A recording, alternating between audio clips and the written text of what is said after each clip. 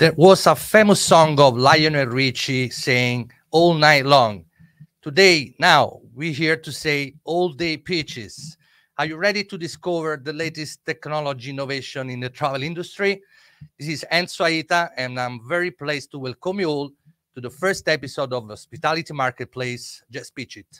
I'll see you in a few seconds.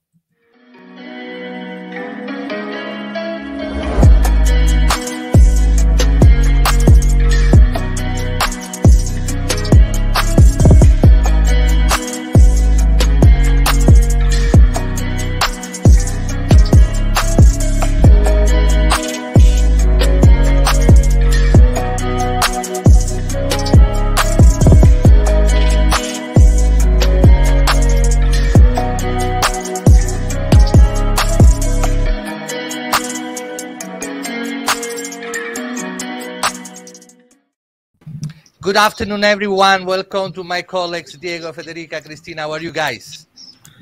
Hi, good, really good. Really excited. Great, And so, How is everyone feeling? I'm so excited. We have a lot of stuff today to, to share with the audience. But before we start, let me share quickly my screen because I, I have good news. So if you are Spanish, French, or Italian, and you are watching right now, you can uh, easily download a, a, Chrome extension and you can uh, select your preferred languages and watch the event, which will be held in English, also with uh, your dedicated uh, subtitle. I'll share my screen and I'll show you how that works. So basically, this is a video tutorial. There is no audio, but just follow what uh, instruction is showing. So go to your Google Chrome, um, go or Microsoft Edge. So depending on the browser you are using, search for a Kadu um, extension. Get this done. Then uh, open it. Insert the key um, code of the event, which is let me see and remember GPNX. Done. So basically, after that, you can select your language easily and at some point there is a little uh, pop-up coming on the on uh, on your screen that will allow you to watch practically the event and get the subtitle. All right, so how are you guys, Federica? Fantastic. Uh, hi, Enzo, and hi, everybody. Yeah, I'm here sitting from Rome, and I'm really, really excited uh, to kick off today with the second edition of Hospitality Marketplace. The first one was incredible for me, and we have been working to this event uh, for seven long months. Uh, I have to say that I'm really proud and uh, honored of uh, the lineup that we gathered. And uh, yeah, so please follow, join us, uh, and uh, comment in the in the comments in LinkedIn. Uh, join also YouTube. We are on every social media, so don't hesitate uh, to do not hesitate to tell us, uh, you know, your feedbacks, uh, your questions. we yeah, we are here excited. Fantastic. You want to share quickly the agenda? I'll, I'll open the screen here. Sure. As you know, today we will kick off with uh, the day dedicated to revenue maximization. Tomorrow, let's connect again for the second topic, which will be distribution. Then next uh, week, we will be we will go live on the 22nd of November, Tuesday, for the direct bookings uh, event, and uh, we will uh, just close with the last topic, which will be operations and sustainability on Wednesday, 23rd of November. Fantastico, fantastico. Cristina, this is your uh, hospitality marketplace experience. How far? It's, it's my first experience, and so I'm super delighted to have joined uh, such great and fun professionals really putting together this great event. And I think it's, it's a huge opportunity uh, to bring together some of the most fascinating commercial minds together with the, the latest tech innovation. So super excited. Thanks very much for the opportunity, and thank you. Um, thank you everyone for joining us today. Fantastic. Diego, what's up to you? Where are first of all, where are you sitting? Because every time you're in a different part of the world, from Brazil to Jamaica to yeah. Santo Domingo, Ibiza, you you do a very bad life, man. Yeah, yeah, yeah. I'm uh, right now in Madrid, in our headquarters here in, in Pozuelo. So I have been at least this during the last week in, in Madrid. So no, no airplanes, no travel during the last two weeks. So I'm here in Madrid First of all, I would like to thank, like always, uh, because for me it's a huge privilege to to be here with all of you guys. It's an incredible experience work, work with you.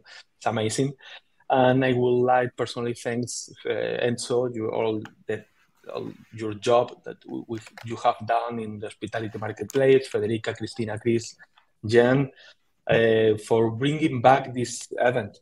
This is an incredible experience for me. It's a, a huge, a huge thanks for everyone. Uh, Hospitality Marketplace was born with one idea that is democratize the use of the technology, helping hoteliers uh, meeting in a simple and an easy way the technological provider, which normally is complicated to do. So I think that it, you, you will enjoy the, the day and, and the full event because you, you will have um, in a simple and easy way all the best technology ecosystem in, in the world right now for the hospitality industry. So really happy to be here, like always. All right, this point we are almost starting. Um, maybe Christina, you want to say something about what, which are going to be the sponsor today? Shall we show the clip? Let's bring up our sponsors. Absolutely.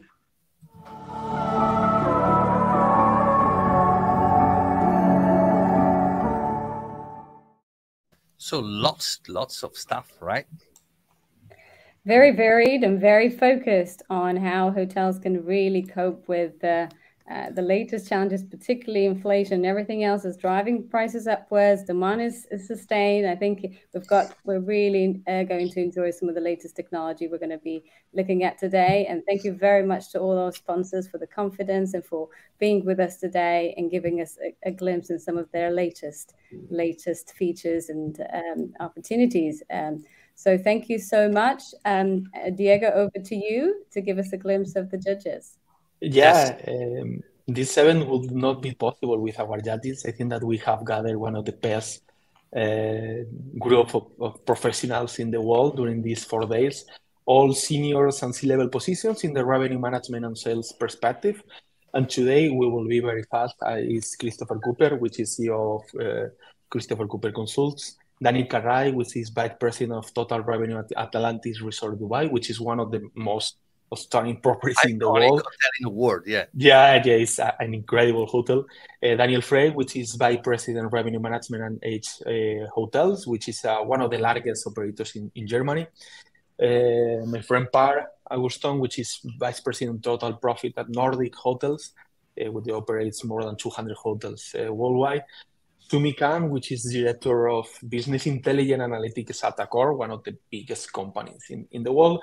And last but not least, Rostan uh, Monji, which is group revenue distribution manager. If I'm not wrong, he has been promoted uh, really uh, soon to be head of uh, sales for that company.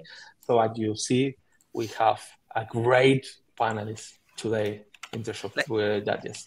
Let's look at the Let's clip and then we yeah. can uh, welcome them. And uh, I will be mainly uh, on the backstage. So, guys, make sure that everything is going to be really smooth. So, let's look at the clip.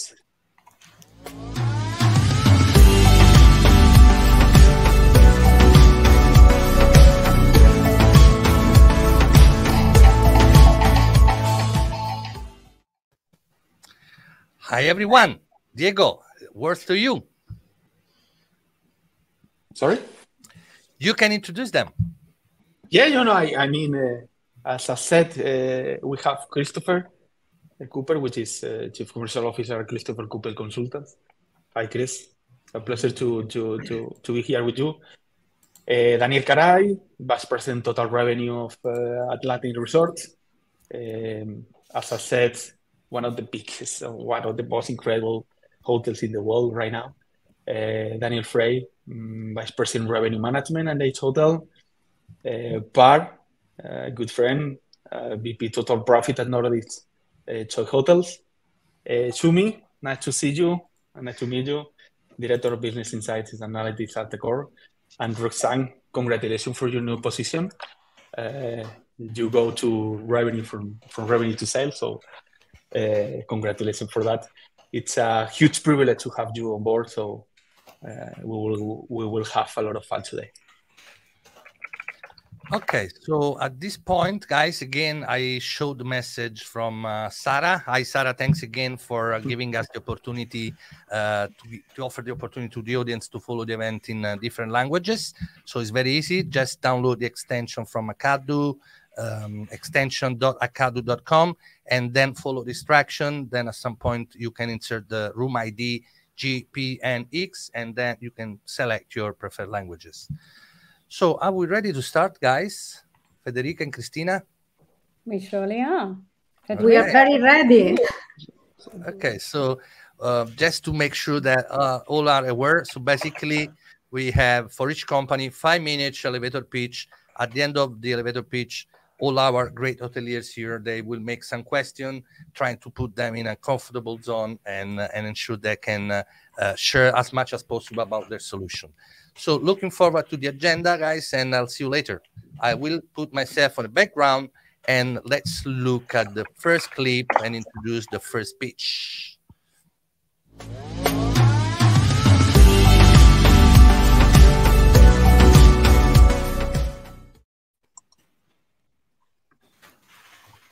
Hi, Lana. Hi. Welcome here. We're very happy to have you. So, hello, hello. Welcome, welcome. So we are very excited to start with you. And uh, somebody could think, but uh, HKeeper isn't it a tool for task management and housekeeping?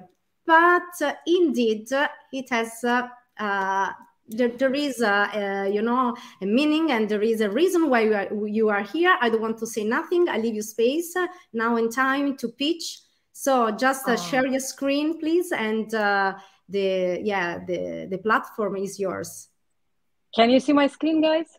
Yes. Perfect. Yeah.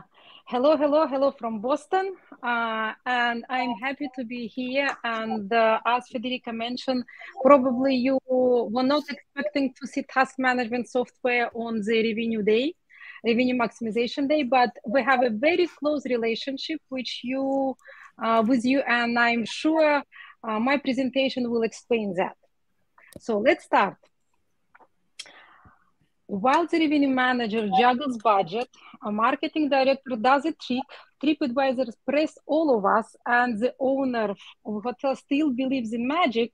HKeeper is one of the right tools which can increase profit and positive guest review, which is undivisible and cannot be separated uh, in the hospitality revenue management.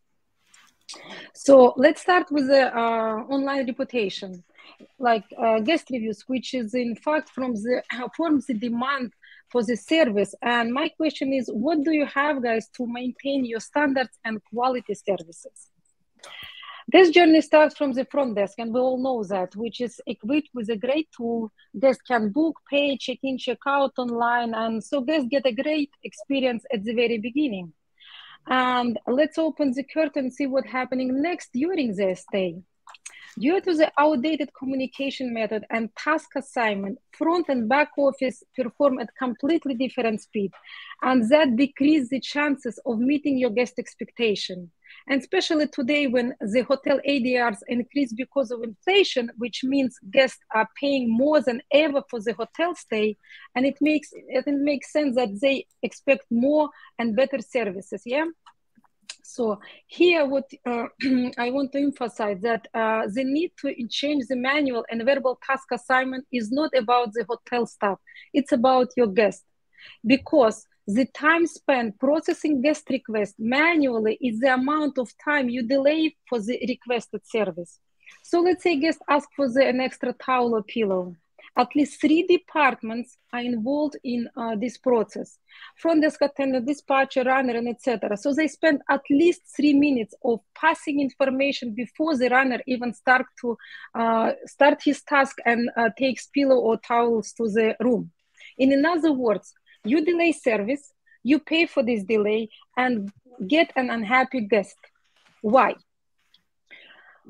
and what you see here is the crazy amount of labor uh, hours spent on manual assignment by three departments for 100 hotel rooms in a year. Just for you to know, HKeeper for 120 rooms cost only 600 per month. So do your math and to find and find out uh, the return of investment. Here it's 1 to 22. When you switch to the HKeeper, your entire team and your guest will drive together at the same speed without any delay. Going digital keeps each working unit updated in real time. No lost or forgotten task. No, no uh, lowering your quality. The uh, digital checklist to ensure quality uh, will be offered as well. Simple pictogram language, manual uh, multilingual messenger is also um, for your disposal. Managers get automatical and uh, real-time generated reports and much, much more. And this is my favorite part, our unique after assignment feature. And uh, HKeeper not only brings entire team together, but your guests start also working with your team. And I hope I make you curious. Imagine this. Guest by uh, scanning a simple QR code gets to a digital menu, choose what he wants, and from the moment uh, guest clicks the button place an order, here's a trick. Guest actually ask and kind of trigger HKeeper to create a task and HKeeper then assign it automatically directly to a specific performer as your dispatcher or front office can do. Then if something is not working in the room, again, the same scenario, like AC is not cooling, let's say. He is again, guest use our application and in the same way send request which will be received by maintenance with a high priority notification. So just to make it simple to understand how HKeeper works, we bring a sample of um, Uber yeah and we all know that uh, how uber changed the taxi service industry. Hkeeper did the same. We eliminate the need to call and wait until the dispatcher places the order. Hkeeper connects directly guest with the doer and eliminates delay. For the first time in hospitality industry guests pay you work with your team and help to increase the quality of your hotel service. Is it not a magic but beside providing you with a great tool to control the quality of the service, HKeeper also cut the cost of operational expenses. Just by automatically assigning tasks and eliminating the need to, uh, for room inspection, HKeeper reduces the cost of the preparing a room for sale up to 30%. My team and I are very proud to offer to the hoteliers and vacation rental providers a software that increase profit and quality of the service, reduce dramatically time for the guest request performance. Automatic escalation eliminate human errors and daily work in daily work, which reduces the amount of paid com compensation for the guest. The reduce uh, of the cost for the complimentary service, which is free of charge HKeeper does a great job in maximizing labor productivity and creates a great environment for the entire team. If you want to be uh, to have a happy guest, great reputation, and growing profits, then you must have HKeeper. And please get in touch with us to see HKeeper's magic tools can, which can maximize your revenue and enhance your guest experience. And remember, behind every great hotel team, there is a great software. Thank you.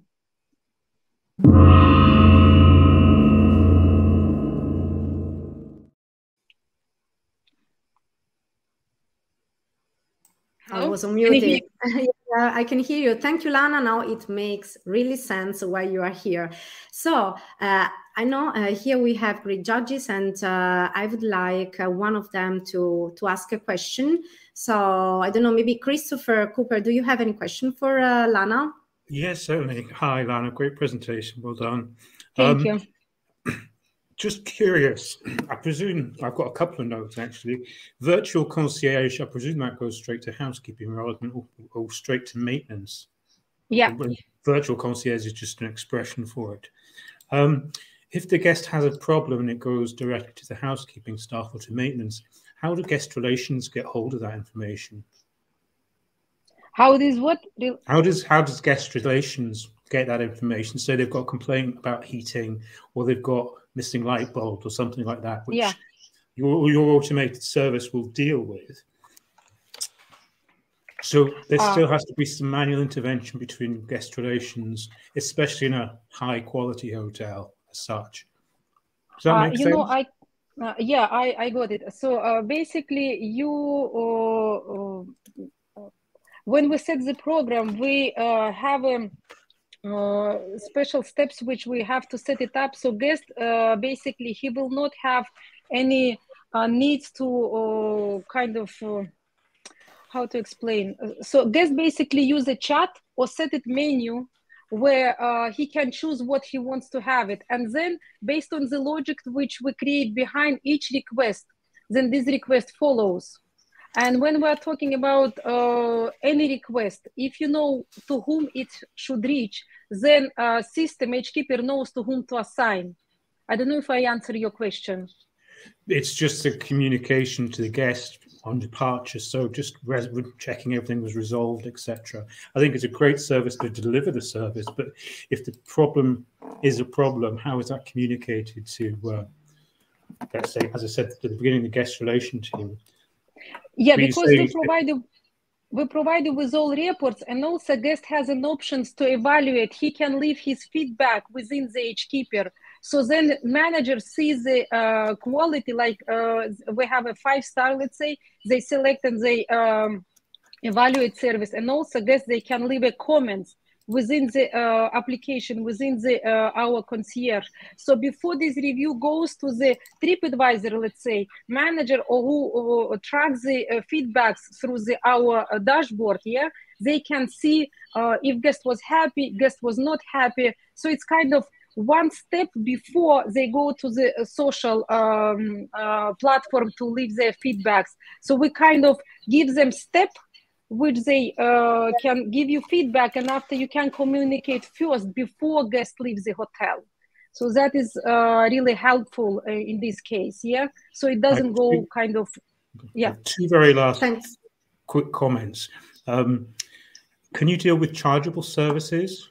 Um, uh, we can integrate with your payment system but usually it goes to the folio and goes to the if let's say it's a restaurant so they charge directly it depends how the, you structure it your payment system uh, or basically when they bring in let's say food to the room yes they have a check which guest has to sign anyway so then if you add to the folio but if you want to add uh, direct payment to our application it's also possible we can integrate Perfect. and my last question Great. is just uh, Christopher, we uh, we are running run of time, so we don't have time okay. to for the next. But you can uh, always yeah. connect me, so I will answer all my questions. You have my QR I will do so. Yeah?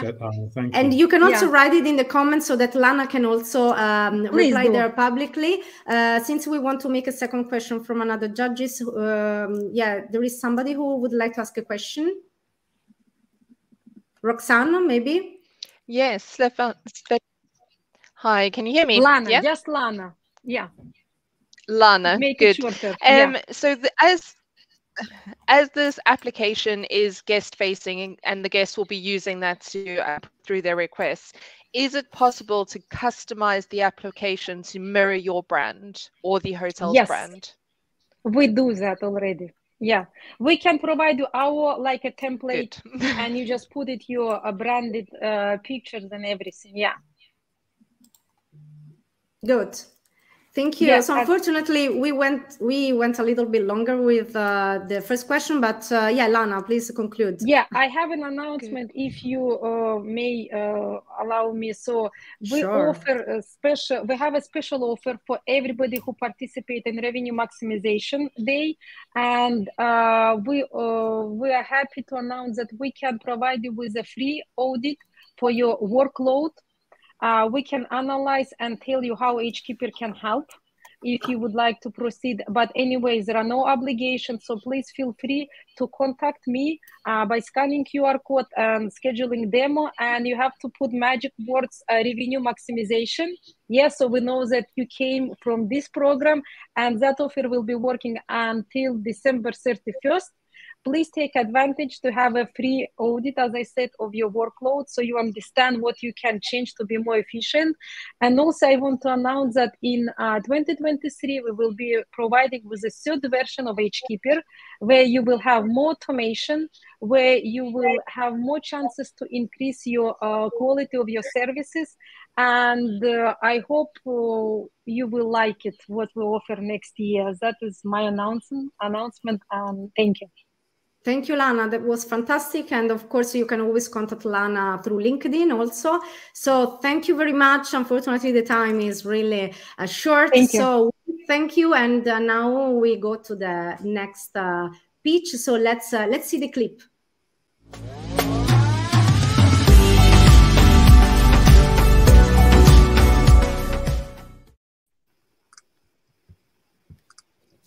Okay, well, uh, welcome on board um, Ideas and Mike Chuma.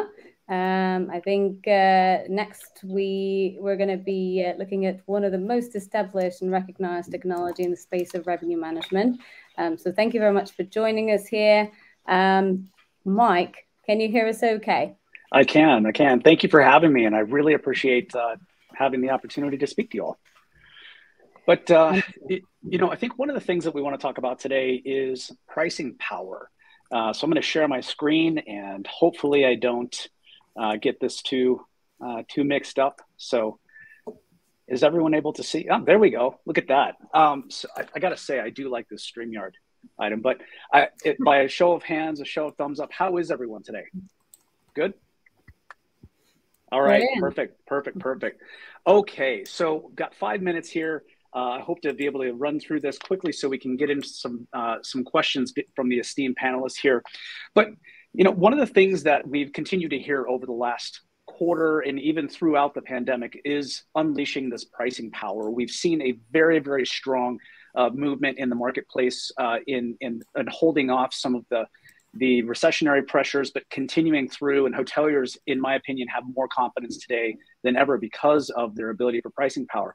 But you know, the thing that we really need to look through is is I want to talk a little bit about the the evolution of that pricing power. And so dynamic pricing evolution, if you think over the last 10 to 15 years in the hospitality industry, we've seen great leaps made in how hotels price their rooms first with the general idea of d- dynamic pricing to, to broad acceptance of rates floating within the best available rates uh, starting back in 2008. Um, since then, the industry has continued its evolution, and many of us uh, got away from fixed bar levels and finally moving on to the spectrum of prices between a minimum and a maximum by room type. At Ideas, we call this continuous pricing. It allows hoteliers to optimally price each room type without rounding rules or with rounding rules if you prefer and, and based upon unique demand pattern of that room type. And other reactive systems use methods like offsets to room price types and this of course leaves money on the table. And as you've seen over the last uh, quarters with these earnings calls there's a lot of money to be able to to to go get if you can treat your pricing power correctly. Uh, and you have to maximize that uh, revenue uh, for each room type based upon that demand now, pricing on the spectrum was a big step forward. However, we still see this as a very, very rigid environment where lots of things are derived from best flexible rate or bar. As you can see in this picture, the picture you see gets away gets way more complicated. And imagine you're at a part hotel or a long stay property, and now you've got a tangled web of rate plans and products by length of stay with all these linked products. And depending upon what you're trying to sell, you know that that can be very cumbersome but we're not create we don't want to create a situation with a lot of compromise. So you have a lever to pull in this situation and that's this big blue box up here that best flexible rate. And that means that i as a hotelier have to balance getting the price correct for the best flexible rate with that demand for all those linked products with various fixed or slightly dynamic rules. In many cases the rms pricing or setup the hotel is using they use those fixed offset rules that react retrospectively, so in the past, to what happens in the market. And in that cascading effect, any increase or decrease in price points for other rate plans choking off those demand can limit your revenue potential. Now, what if I told you you didn't need to make this compromise? That it's constraining your revenue and there's a better way to price that allows you to free your property from these fixed values. So, for product pricing, we look at it from a free uh, a few key areas. So first, you must automate how you price the differences between the products or rate plans, and to break some of those fixed pricing rules with optimized pricing that we can capture more incremental revenue and improve the performance. So if you think about what that is that guests are trying to book, if best flexible rate is not one of your most booked rate plans, should its demand patterns be driving the price for your other rate plans? No, of course not. But be sure the rate plans and the room types that are booked most often or have the greatest revenue opportunity are the ones that are you are most confident of optimally pricing your own uh, on their own demand patterns. Now, as an industry, we should be thinking about driving the price based upon the product that people are actually buying from us. And anywhere you can get started to flex that discount, you can grow incremental revenue by being very cautious about the way that you can achieve that. So we should start to think about creatively, uh, think creatively about how we craft the rules or the structures of the pricing for these products, depending upon the demand. Now, this opens the door in hospitality for us to start pricing these products optimally, but it also creates something that revenue management was founded upon, and that is starting to micro segment pieces of demand to better target those clients. Now, that requires yet another evolution, one that we've cracked. And that evolution is not just to say you think about pricing those products properly, but fencing them appropriately and then targeting what you know about the demand for those products and this is where we have to start thinking about some of these key principles. So, a pricing strategy is that is going to thrive in today's world requires you not only to break the fixed rules, not only to grow the revenue by fencing those products better, but to start thinking about how those products themselves respond to changes in price independently to the best flexible rate. And while doing so in an automated fashion, that's how we can truly learn about the demand for those different products. It's also important that we can start to micro target guests based upon the things that we know. Now, if you have guests that never buy the flexible rate, you don't always show them that product first on your website. Why don't you show them products that are likely to be purchased first based on what you know about them? And that comes back to leveraging the data that you know from that loyalty perspective. So, in this new approach, we are moving towards minimum and maximum pricing by room type and key rate plans and being flexible about those gaps, moving away from those fixed rules that say the price should always be a percentage of, or I've sold X number of rooms, and so I'm going to apply some business rule against that discount. And hoteliers, we've allowed them to move away from these fixed pricing rules and to implement more flexible, tailored pricing strategies that proactively respond to that market's focus, to your market's focus. So that micro targeting your business using the technology and what you know about the guest and the demand for each room type uh, can help us product uh, can help us maximize that product and that total guest spend at your property. Now, finally, if you think about how you're going to do that, I want to highlight uh, what we think is a really good opportunity in the industry that we can provide, especially given that there's so much leisure demand and corporate demand is starting to return faster than expected and with some of the undulations in uh, our, our macroeconomic environment, at IDeaS, we provide this unique automation and that revenue optimal rates tailored for your guests, driven by your commercial strategy goals, using that, mar- that micro targeting and that micro segmentation. Quite simply, you're able to find the right product for the right guest at the right time, and then be able to rebalance your capabilities of what to show them based upon what you think that they're going to book. Now, considering the strategy, guest behavior, market context, your room types and key products, they're uniquely priced to, to maximize that revenue and grow and share and enhance that booking experience. And you're in control with a flexible demand based approach that allows you to interact and affect your pricing strategy as needed. And by doing all these things, we've seen an incredible amount of pricing power be pushed out into the industry that allows for your organization to continue on to pro- provide the best product at the right price at the right profitability. So I'm going to stop and hopefully take some questions because uh, that was that was rap- rapid fire TED Talk style.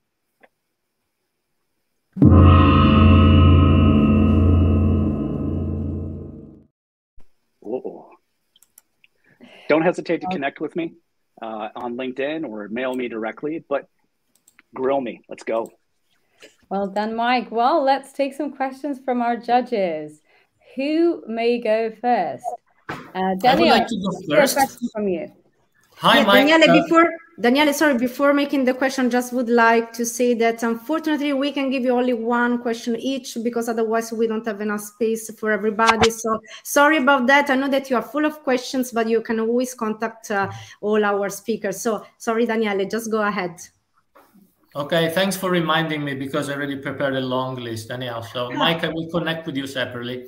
Um, I, so this topic is uh, is really thrilling. So um, this is already available in IDeaS in the latest version. It is. Okay. So um, my question is, uh, historically, I've been always working in resorts, mm-hmm. and uh, the biggest challenge of of of my life has been really um, having uh, the revenue management system work with me but I also need to look after 50% of the business, which is trade and static rates.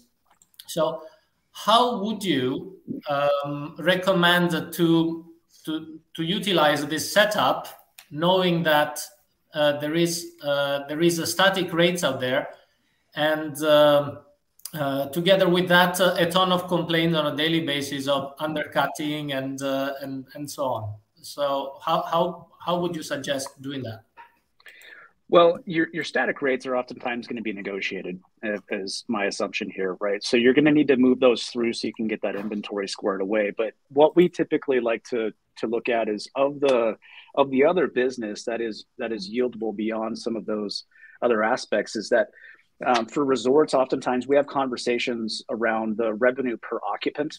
Uh, so you're looking at the total profitability of the guest and you, are able to you know look at that per person pricing and you can deliver the deliver that revenue excuse, excuse me deliver that price to maximize that revenue uh, per occupants per occupant uh, and based upon that you can take a look at the profitability of the entirety of what the guest is doing on that rate if it's an all-inclusive uh, rate and resort um, what we look to do is is is first understand the the non uh, the non-contract business uh, and then start to yield that. Um, you will get some, you know, some complaints, but you can also look at the group modules, and we have the ability to go back and, and look at those group modules um, and determine whether or not we should be able to, you know, go through and, and identify an increase or a decrease of those static rates. Okay. Uh, I'll, I'll stop with the questions, otherwise we're going to be here the whole night. So thank you, Mike. yeah, no worries. And you know, if I didn't give you a, a complete enough answer, I have a whole bastion of uh, of colleagues that can get into some very detailed questions for you, Daniela. All right, cheers. Thank you. Yeah, I'm sure they can. Well, thanks very much, Danielle. Shumi, any questions from your side? Oh, I think you're mute. Sorry about that. Hi, hi, Mike. How are you? Hi, Shumi. How are you? Uh, good. I've got one specific question, and it's around uh, potential cannibalization. So obviously, now that you're yielding all of those rates independently, I did see a little screen that showed that you could fence them. But is it up to the revenue manager to fence them, or is there some automatic fencing that takes place to ensure that there's no cannibalization between those rates? Well, so the the answer in, in truly is is both. Uh, so we we do our system does allow for the uh, through the configurations uh, that the revenue management team and the hotel provides to influence that system. Now, it, we wouldn't be we wouldn't be IDeaS without talking about the way that you can do that in an automated, automated and optimized way. So the, that fencing, one of the things that we built in is is for those linked rates, you can fence those rates off so you can ensure that you can close them down and they don't operate within some within the parameters and cannibalize. But if there's some uniqueness of what the revenue manager knows versus what the system knows, then the, the revenue manager does have the ability to go through and override some of those aspects or change some of the configurations. Okay. I do have another question, but I know we're out of time, so I'll ask you another time. yeah, no worries. Tejas can also help you out as well. Yeah. Federica is, is keeping our time here. Federica, how are we doing for another question? If it's short and uh, we stay in one minute, let's go. Less than one minute, please. Let's go. Let's go. I'll try to make it quick. Question. Like shooting. Oh, I don't um, know if um, this one's going to be a, a quick one. um, how does this differ to what some of your competitors are already doing um, in the market? I'm so sorry. yeah, no worries. I believe that was Roxanne. Yes. Yeah, thanks for asking the question. So th- there's there's a major difference, um, and so our, do our competitors have the ability to publish rates and and go out and and um, and to be able to isolate some of those rates on a per segment basis? The answer is yes. But what what we end up doing is that we actually that's retroactive. That is taking into consideration the rates uh, and it gets rolled into post excuse me post optimization to where we're actually doing this in a proactive way so the system's continuing to look at um, at the uptake and the booking pace of these particular rates and it's automatically responding moving in, in a forward forward moving fashion into the future booking pace and the optimizations so in re, you know so i guess the, the biggest difference is that our system is always always always re-optimizing for the future and um, and not necessarily reacting to what is booked. Um, we actually bring in a concept of booked versus stayed, uh, which gives more intelligence around the the actuality of, of how you're bringing in those rates and materialization of, of the uh, of the booking pace against those rates. Thank you, Mike, for being really, really short. So, yeah, Christina and myself wants to thank you for uh, participating for this great uh, pitch and Q&A. And now we have to go to the, to the next one. So let's have a look at the clip. Thank you all.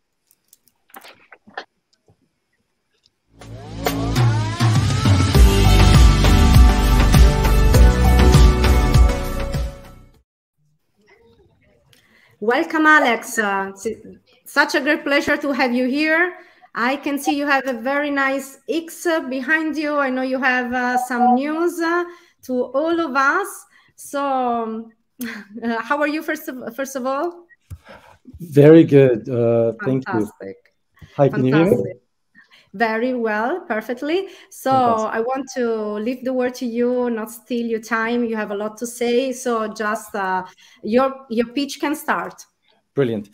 So uh, I would like to take this time to actually uh, not talk about the features and functions we have at Beyond Price, uh, we have actually uh, developed a lot in the last uh, couple of years. We've got a product that is on par with all the major players in the market.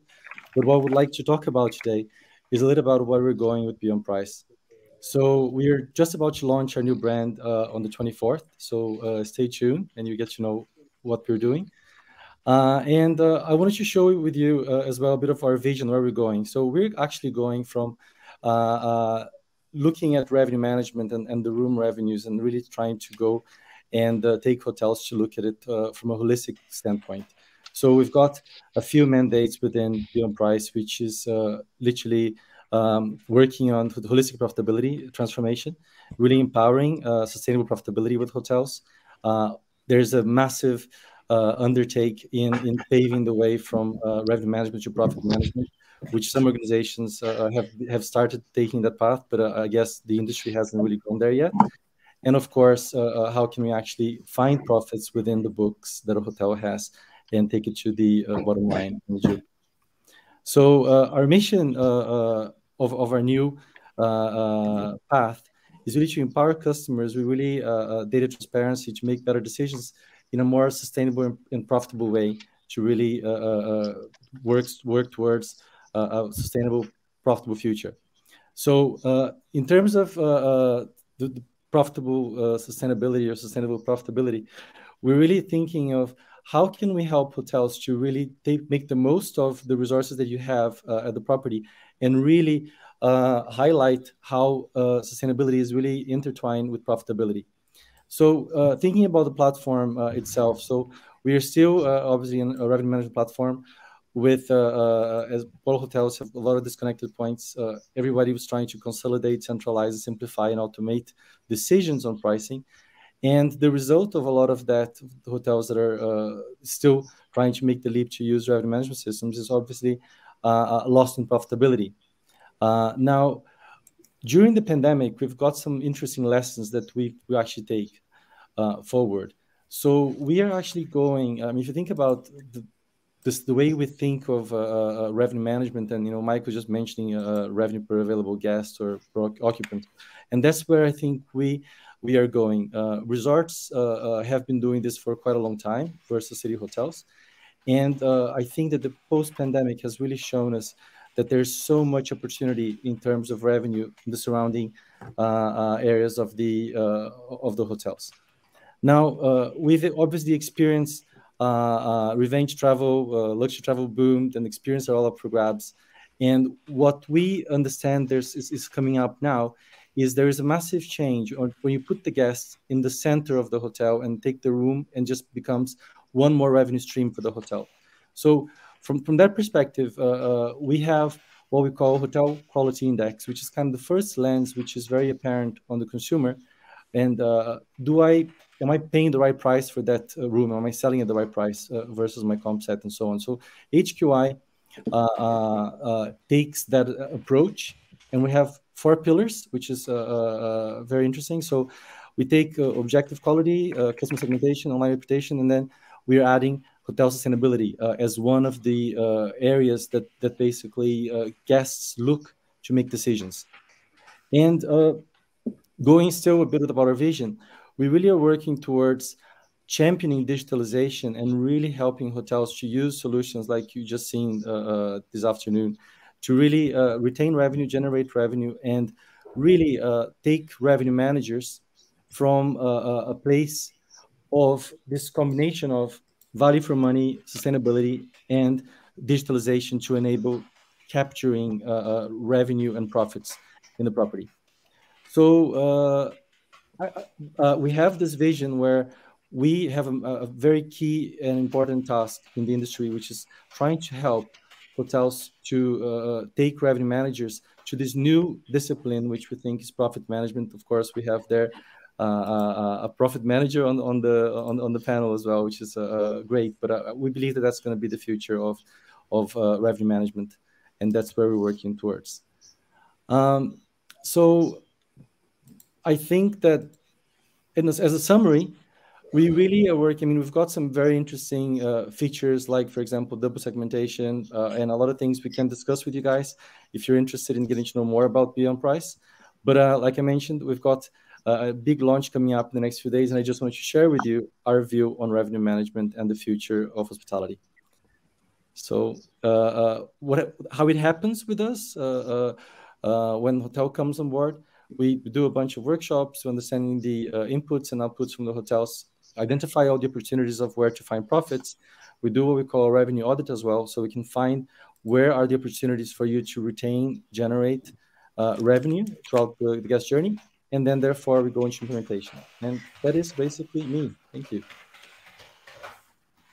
Have I got more time?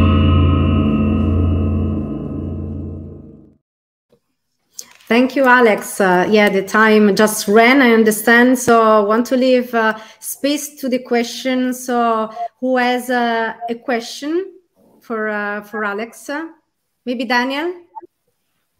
Um, hi, Alex. Many thanks great approach. Um, just curious about one thing, talking about profitability requires great insights into groups business or MICE business, uh, especially when it comes to the decision will you take group A or group B. So how, how is how is your product gonna help the hoteliers to, to make the decision with regards to group business? So we have a, a, a group group optimization uh, solution within the platform, but uh, uh, with I mean obviously that's a very important part of the business. But I think that our approach is that that's just basically again one part of the business. We really want to look at it holistically from, you know, everything that you think about from the revenue generation that you do through guest messaging, uh, through the engagement with guests, basically getting uh, guests to, for example, skip room cleaning, and uh, you know uh, uh, retaining that revenue that's already yours.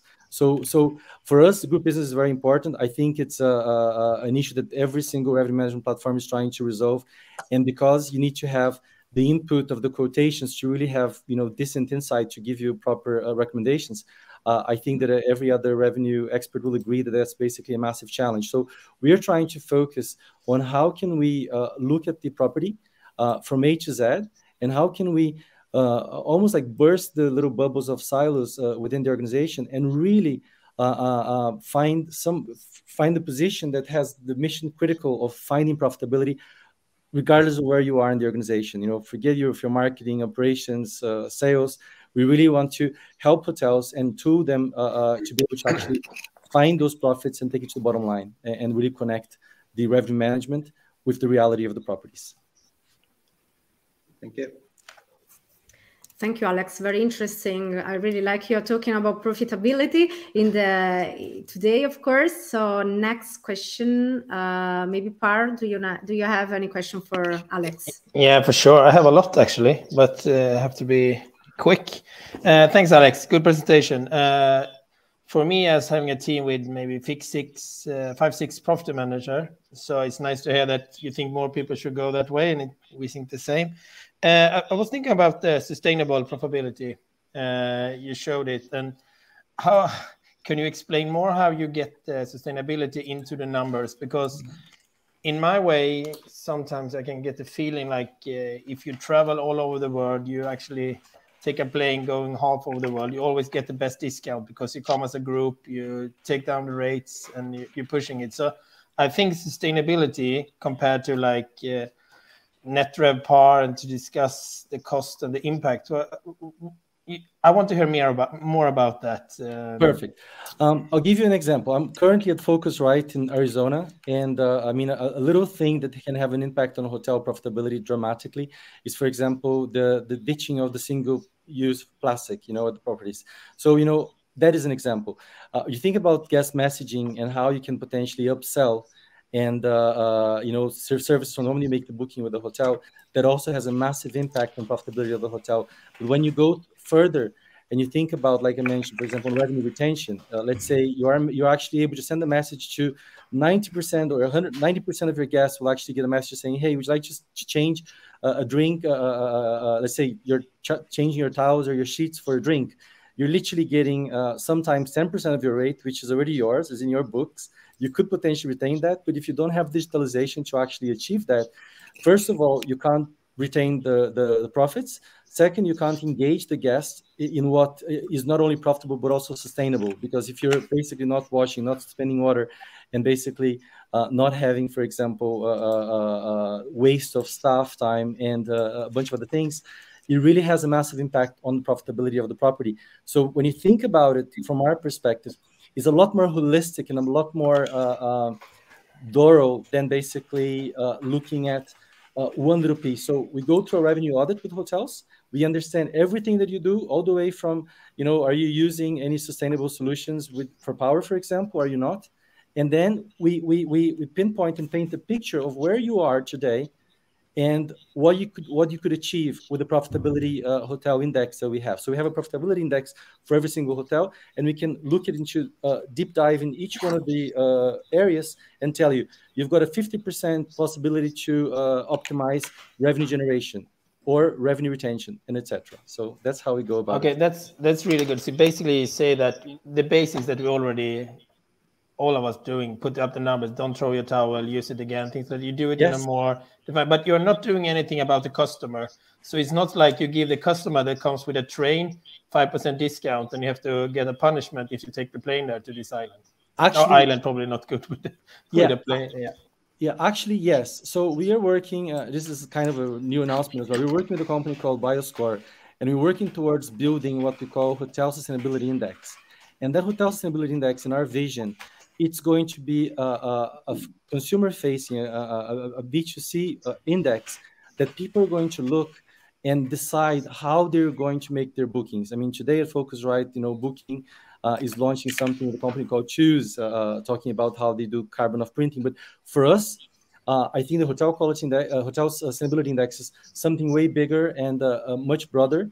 And I think that it is uh, something that we're involving a lot of brands to build this uh, along with a lot, a, lot, a lot, of other partners and i think that's what's going to happen so there's definitely a a, a b2c approach and uh, uh, uh, an exposure to the customer as to what you are doing so every customer that comes on board of beyond price does this sustainability audit and we show you where you are. If you can be certified, fantastic. If you cannot be certified because you got less than 65% of the requirements, then you, you pay a little extra fee and then they take you how what you need to do to get certified. So uh, uh, we're literally taking it very seriously. We're part of the Global Compact and we believe that there's only one way forward. And I think this is, uh, uh this is the way, uh, uh, being sustainably profitable.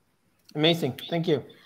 Wow, that, that, was a really impressive, and I think we could uh, talk for hours, but uh, yeah, we are running out of time. I just want to give uh, maybe time for a, for an extra question, but uh, please stay in one minute. So, Roxanne, do you have any? Maybe, just in case you have, of course. Um, yes, just one quick question. Who do you integrate with from, so this is more technical, what PMS booking engines do you work we, with? We, we work with uh, uh, most of the top uh, uh tech stack in the world. So we work anything from, you know, uh, uh, and there's over 55 PMSs we work with. And if we if you're a, a, group that has a let's say 20 30 properties and you have a pms we don't integrate with we'll also do the integration without a problem at all so uh, integrations is not a barrier we have a bunch of them. We're working uh, we recently just won Barceló hotels which is an international uh, uh spanish hotel brand. And uh, i mean there's a lot of uh, hotel chains coming our way because i think they're aligned with our vision. There everybody's I think is working towards what we're trying to work which is literally building a sustainable profitable future. Thank you. Thank you. Thank you, Alex. Wow, this this was really, and thanks the judges, of course, for asking the questions. This was really a very, uh, another great session, right, Christina? Do you agree that we really enjoyed it? And uh, yeah, I just want to thank you again and uh, say all of you, just stay tuned uh, with Beyond Price because they have many news and announcement. So thank you, Alex, for being with us. Now we go to the next pitch and uh, let's have a look at the clip to find out who uh, will pitch.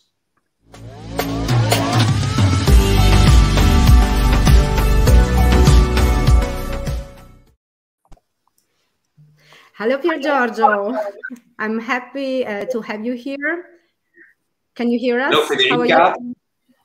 I'm doing great, doing great. And thank you again to you and to Enzo for inviting me thank you uh, to you for uh, joining uh, joining us and uh, it's such a privilege. We are very happy and uh, we are uh, here to listen to you. So please just share your screen and you can start with your pitch and everybody can find out more about blastness just a few seconds now to to share. Yes perfectly. So the platform is yours. So let's go I will spend a couple of seconds to explain maybe who is Blastness. It's, one of our first international shows. And Blastness is an Italian company that helps independent hotels by offering technology and consultancy to increase direct bookings and revenues. So which are the two main missions of Blastness?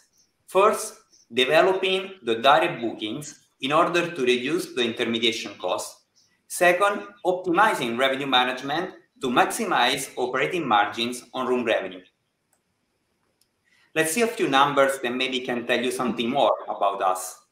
We've been operating in Italy for more than 18 years, and now we are ready to go global. Today, we are a team of over 100 professionals, and in our portfolio, there are almost 1,000 hotels. We are the number provider in Italy for booking engine and revenue management system in the luxury hotel market. And we have the biggest independent revenue management team in Italy with over 25 professionals. Since 2017, we are also a Google strategic partner with over 75 million euros of converted direct reservation targeting 2022.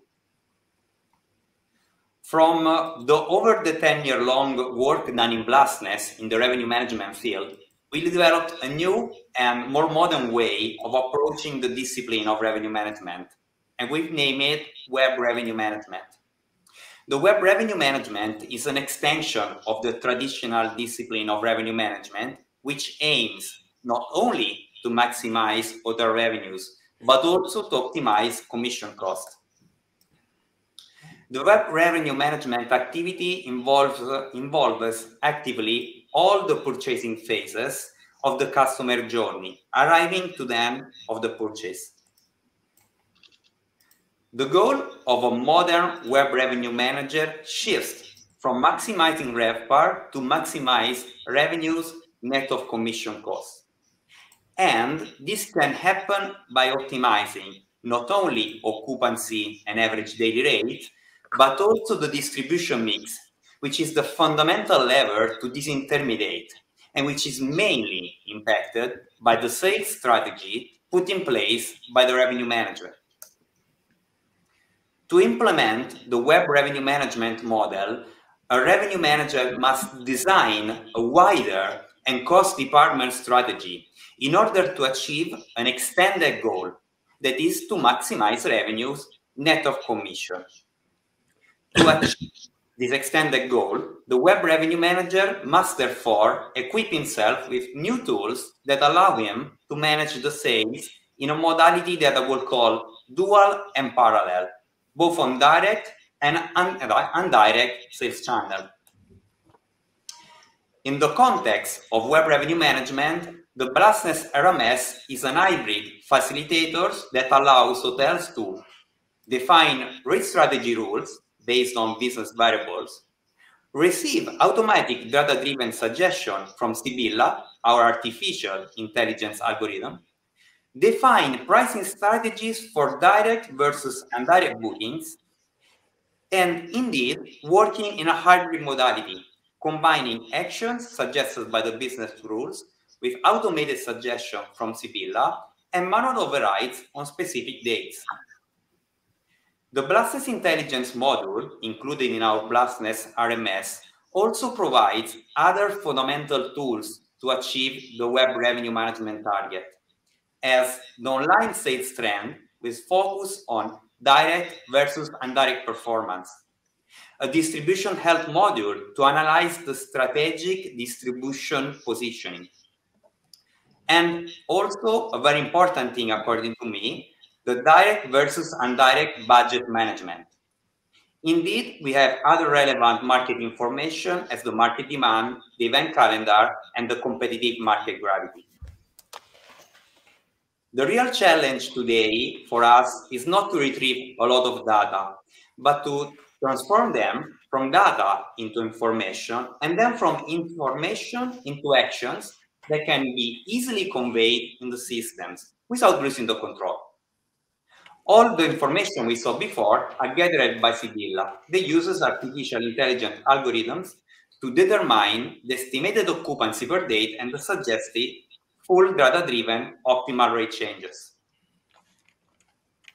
The application of web, of web revenue management boosted by the technological tools that support us in applying and managing the strategies led us to achieve uh, very good results during 2022. Here we can see the result that we have on a panel of over 900 hotels compared to the revenues of 2019. And uh, where OTA revenues increased by uh, 23%, we can see we uh, saw this incredible data that the direct booking increased on average by over 114%. And this result was also boosted by the Google channels, but we will see next week and we will talk more deeply about this topic in the next episode. So I hope that the pitch was interesting. By the way, it was our first international pitch, so I thank again Federica and Enzo. And uh, I hope that I was able to add a bit of flavor to the revenue management and also a bit slightly different point of view.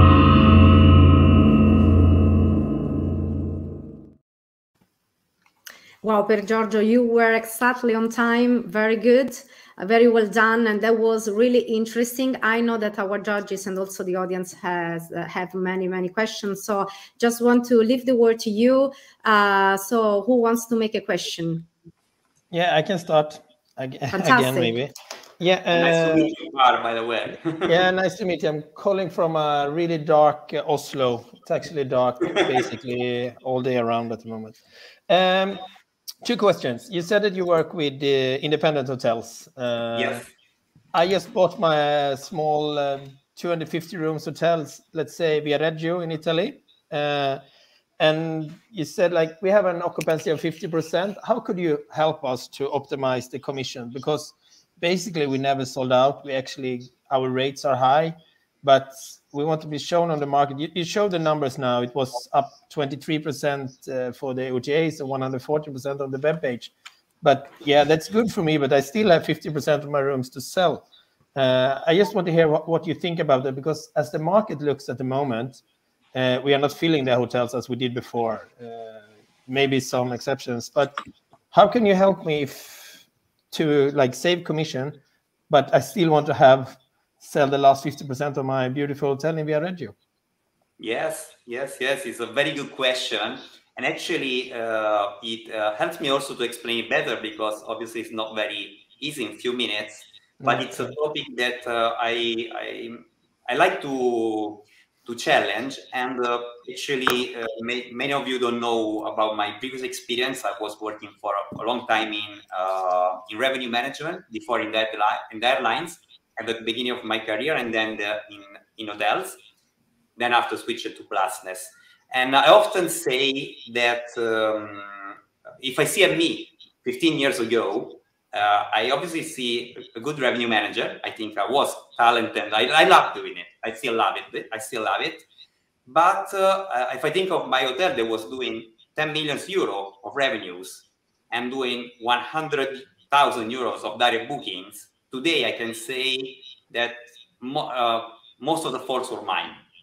And what I, what is my let's say provocatory uh, answer is that uh, one thing doesn't exclude the other, but revenue management can exclude direct booking because I think it's, everything is a matter also of targets. My target was RevPAR, so I actually was obsessed by RevPAR, and I'm still obsessed by RevPAR.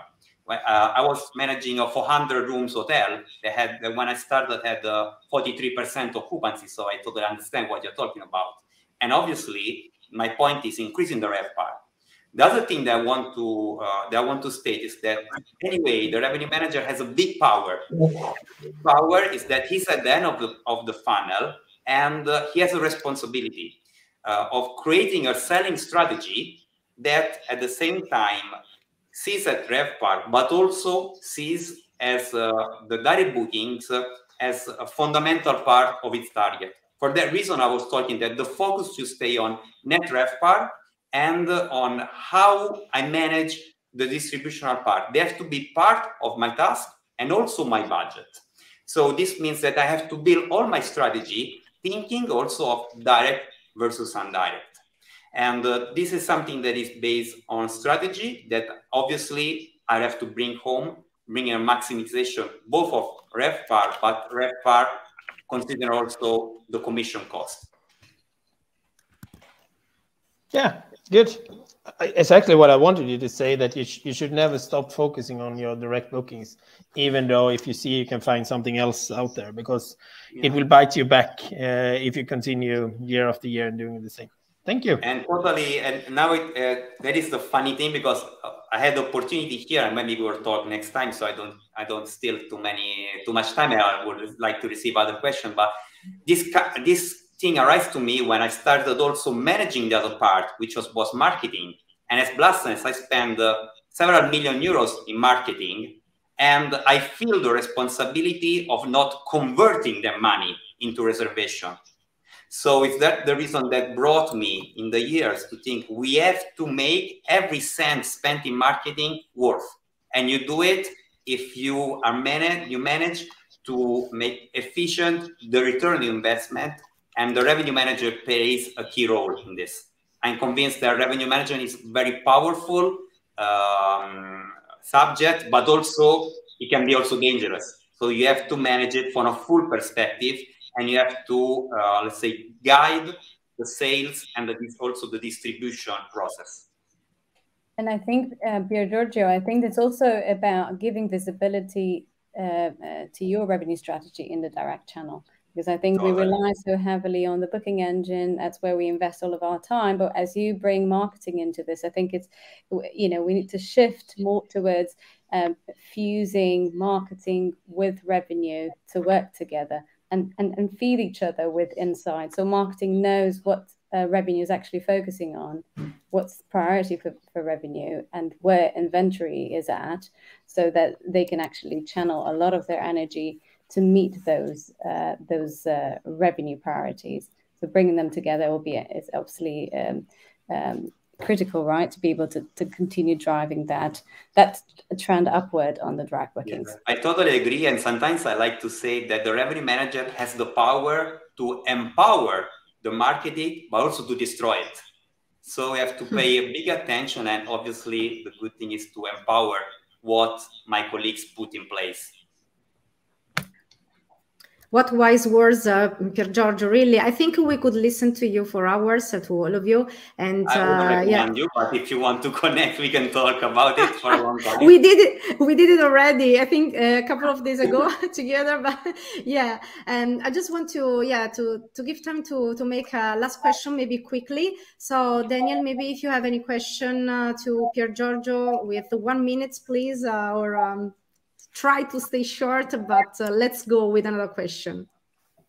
It's a it's a very easy question.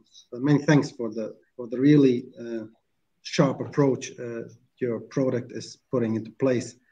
Uh, I, have seen on your on your slides that you're including market data into into into your system. So just let me let us know which market data are you including and is this market data having an impact on your pricing algorithm? Yes, let's say also there was a, a nice quote. Uh, let's like I would say I'm a revenue who, who starts as a revenue manager will always be a revenue manager. And the first rule of revenue manager: more information you have, the better it is. So uh, I'm very thirsty about data. So we both buy some buy data, but we also get it all around. And uh, also, the important thing for me is to transform data into information and into action, because many times we also get the paralysis. Uh, at the moment, uh, the let's say the market data that we put inside can be classified in a few categories. One is uh, everything about price. So for me, it's very important the trend of price on the single data. The other part is connected to the demand so actually, I will I will make it synthetic. Uh, the let's say the um, the numbers of rooms still available for a certain date on your relevant let's say market. I, I will not call it square. I will call it submarket. Uh, on another side, there's all uh, a thing that we call um, the demand from the request. We have data about people that are looking to book, still not booking, with a kind of let's say the one that comes a little bit before booking, so makes you understand the trends a little bit before. And for last part, not least, uh, all the event data. So knowing if you have relevant events that can impact both on the international market, but also on the local market. We have also this kind of, of um, things. And these are, let's say, the four big uh, places, sources of data, family sources of data. Thank you. Thank you, Pier Giorgio. And uh, as somebody very famous said, uh, without data, we are just another person with an opinion. So that's. Uh... I will see this quote. I like it. so thank you so much for sharing uh, your uh, your company, what you're doing, and for uh, every anybody who has any question uh, to about Blastness or to Pier Giorgio, mm, please contact him. Uh, he will be very glad to he and his staff, of course, his team to to answer all your question. So now the time uh, is um, yeah is over, and we need to go to the to the next speech. Thank you, Pier Giorgio, again. let's find out. Thank you. Thank you, everybody. Thank you. And uh, let's see the clip now and I leave the word to Christine.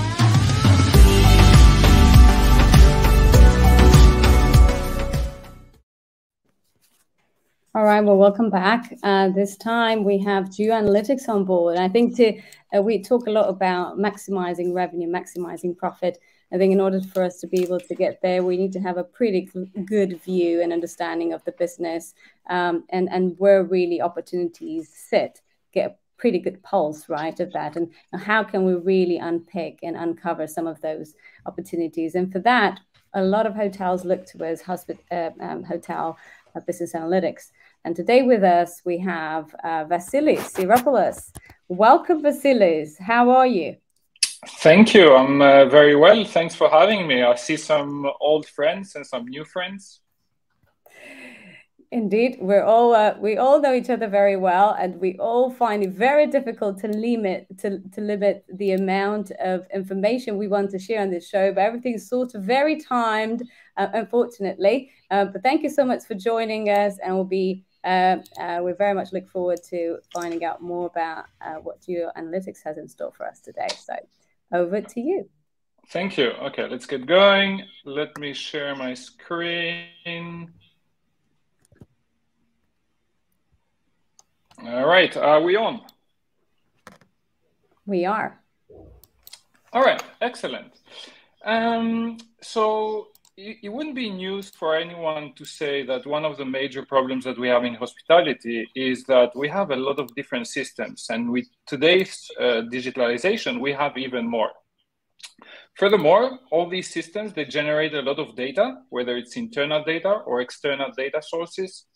Um, and all of that data is kind of sitting in different places, and we have these uh, infamous uh, silos that uh, that we all talk about.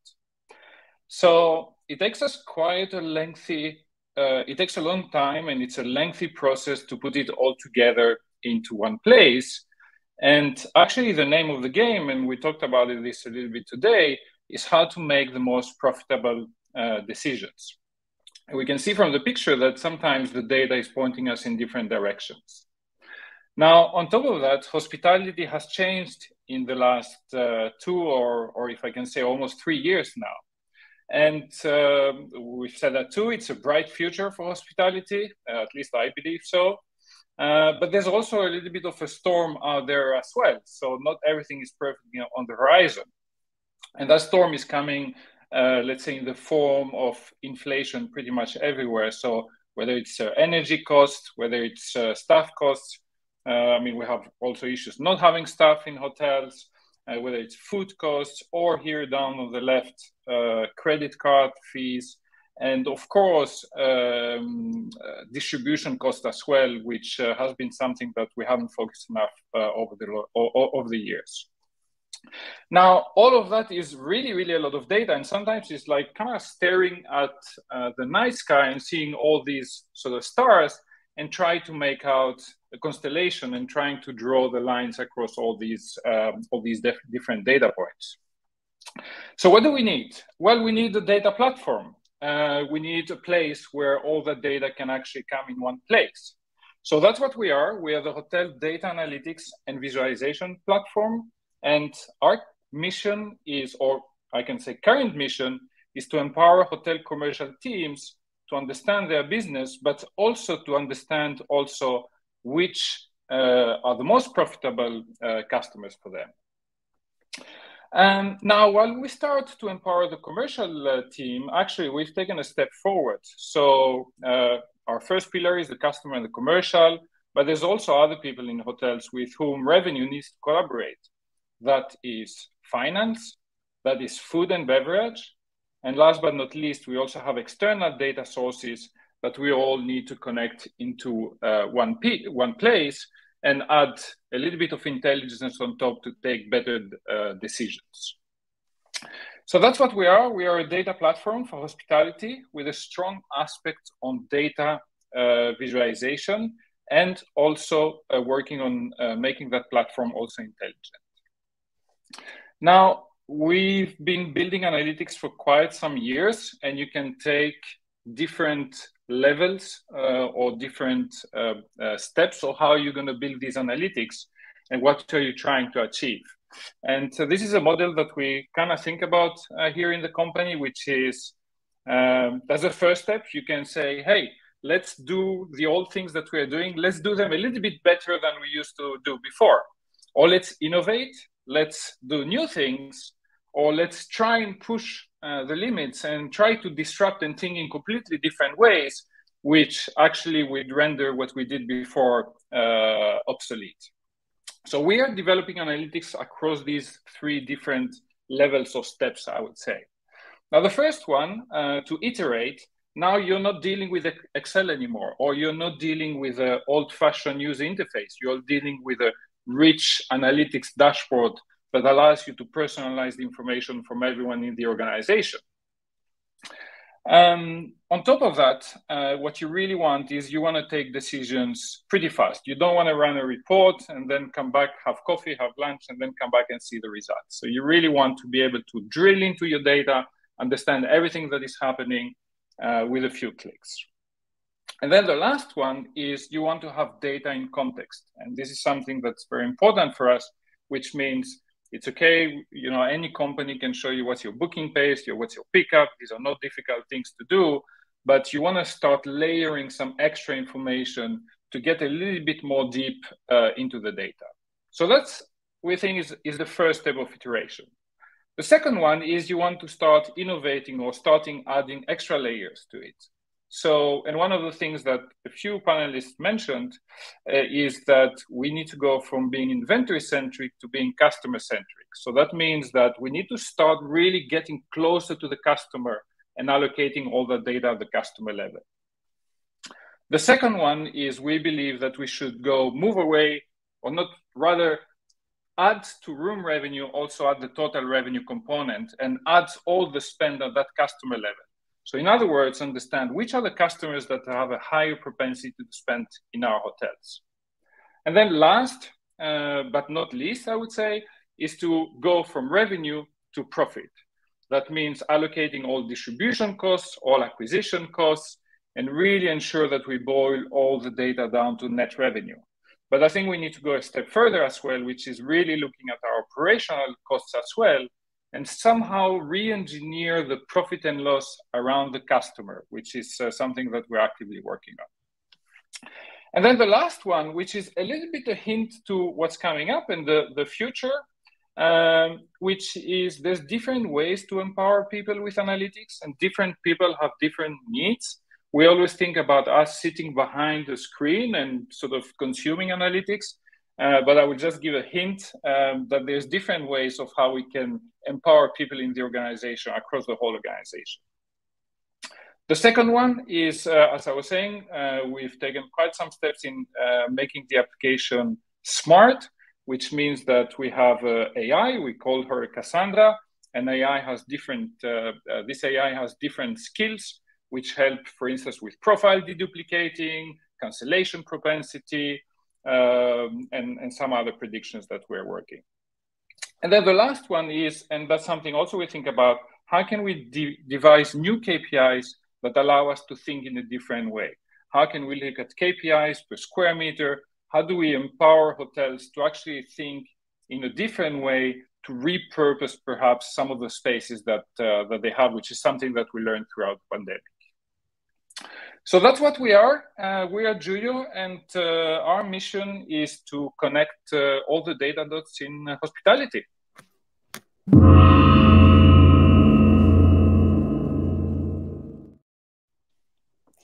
Very impressive, Vasilis. I think you bring it, you're bringing it all together, and I think everyone's sitting there and watching, thinking, is this really happening? So um, congratulations and great pitch.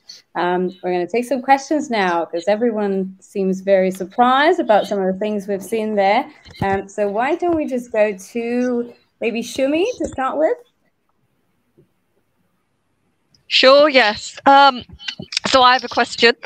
Um, so obviously, you know, getting to a profitable uh, I suppose uh, forecast is and profitable outlook is is is uh, critical for us. But uh, the one thing I have to ask about is um, the data itself, because you say that you're a, an analytical and a visualization platform. What about mm-hmm. the technical side of things? Because, for example, within uh, the PMS, uh, in order to identify a uh, booking that is uh, delivered by an OTA via either a net rate or a gross rate, you would need to go to the source code within the PMS. And then, you know, similarly, you you know, you have other costs and so on that, uh, you know, uh, uh, you know, how do you actually do that? Do you do the extraction from the PMS and do you remap the PMS so that uh, the source code in the PMS accurately reflects whether it's a net rate or a commissionable rate? Or are you reliant on us providing you with the clean data and you're just going to analyze it and visualize it? Um, do I have two days to answer that one? No, I'm joking. Uh, this is a, this is probably the most important question, which is um, uh, you know, you would think that we spend our time to build beautiful visualizations, and actually, that's not what we do. This is a small part. The biggest part is actually cleaning all that data and making sure that it can kind of feed the engine, right? So, yeah. to your point, often the PMS data is not really good. I mean, we've seen many different levels of, of, of data. Uh, so indeed, you you have to in the plat. Uh, let me answer it in two ways. Uh, the first way is yes, we will remap all the data usually in our platform. Uh, so we look at and say, okay, you know, how do we want to map, you know, channel segments, rate codes, maybe companies, agencies, whatever the different dimensions are on the booking, right? So, so we need to do quite some cleaning data. Uh, some cleaning uh, uh of, of, of, the data. And then there is different things that you might want to think about, which is you, you mentioned gross rates and you mentioned net rates. If you don't equalize this, you're not looking at the right information. Uh, so you need to think, how can I identify this, equalize it? So I'm comparing apples with apples and not apples with another fruit. Uh, that's I try to make the very short answer. I know that it doesn't answer everything you ask. It's it's it's it's quite a complex question. All okay, right. Okay.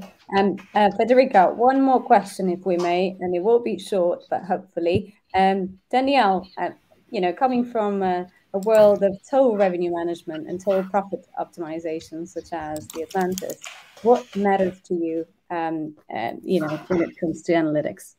Yeah, so I think the uh, the picture whereby you had all the systems and the silos, it's it's the one I would like to explore a little bit more.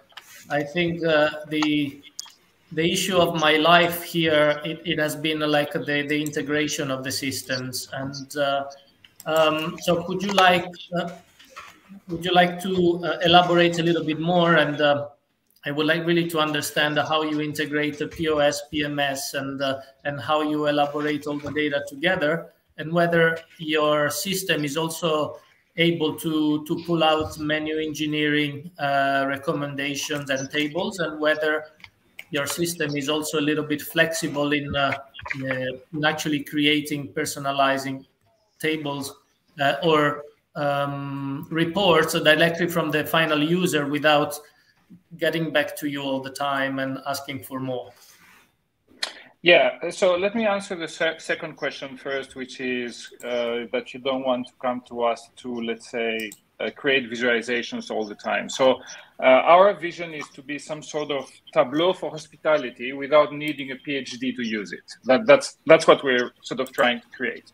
But our platform is coming in two different ways, which means one is the full platform with the visualization engine. The other one is what we call the data platform, which we would do only the data engineering part and we would expose the data to you so that you could build something on top of that. So that's kind of the, let's say, the easy uh, uh, sort of quick answer to the second question. Uh, the first question about the integrations, um, you know, I wouldn't be sitting here to tell you that it's a piece of cake to write integrations in hospitality. I'd be lying. Nobody would believe me. I mean, it's, it's, it's, it's the hardest thing that we're going through in hospitality. We have the same challenges as everyone else. Um, but we are the most connected analytics platform from a range of integrations, not only PMS, but also other data sources. So we have a, we think that we have an advantage is sort of in understanding the complexities of different forms of data, so to speak. Uh, we haven't solved everything, but you know that's the path that, that we're on to, I would say. Uh, again, a sh really short answer on it. And we don't do menu engineering yet. Thank you. But stay tuned, uh, Daniela, because you'll find someone who does in just a bit.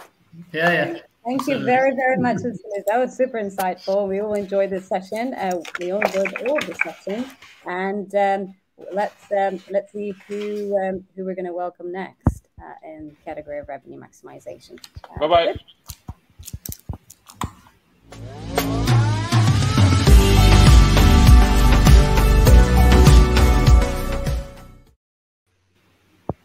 All right, all right. Well, next we have Wave Vista. And um, uh, I think hotels are such a complex business mix. And uh, there's so much complexity around handling that and handling the commercial strategy, especially if you are a resort and you're located somewhere where you need to actually take a flight. So you rely heavily on tour operators bringing business into your islands. And for that, we have today with us Irene Guillarte. Bienvenida. Welcome. How are you today? Good morning, Christina. Thank you. I'm really well, and you? Thank you. Very well, very well. Uh, Irene, uh, uh, I think she's dialing uh, from Ibiza. Is that where you're yeah. at? Right. I'm located in Ibiza, and the weather is really nice today 23 degrees. Then it's really nice here, the weather. Thank you for making us all uh, very jealous.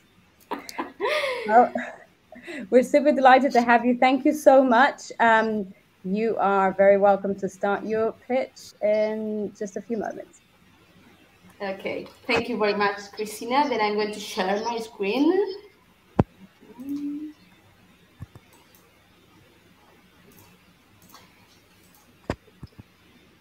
Okay, now I'm ready. Okay, then it's really nice to be here for me. My name is Irene, and I'm the co-founder and CEO of Wayvisa. And you wonder what Wayvisa is. Wayvisa is the company that launched to the market the RMS in the world developed by and for vacation vacational hoteliers. As a vacational hotelier for many years, and also a, as an expert in implementation of RMS in hotels, I have always asked myself why there are no RMS for vacational hotels. All systems covered my segment, corporate segment, transit segment, but what about the tour operator segment? Does it not give money to hoteliers? Well, the answer is really clear. It gives a lot of money, and you have to be able to work and optimize it. And of course, I'm not talking about the tradition, the connected tour operator. I'm talking about the traditional one.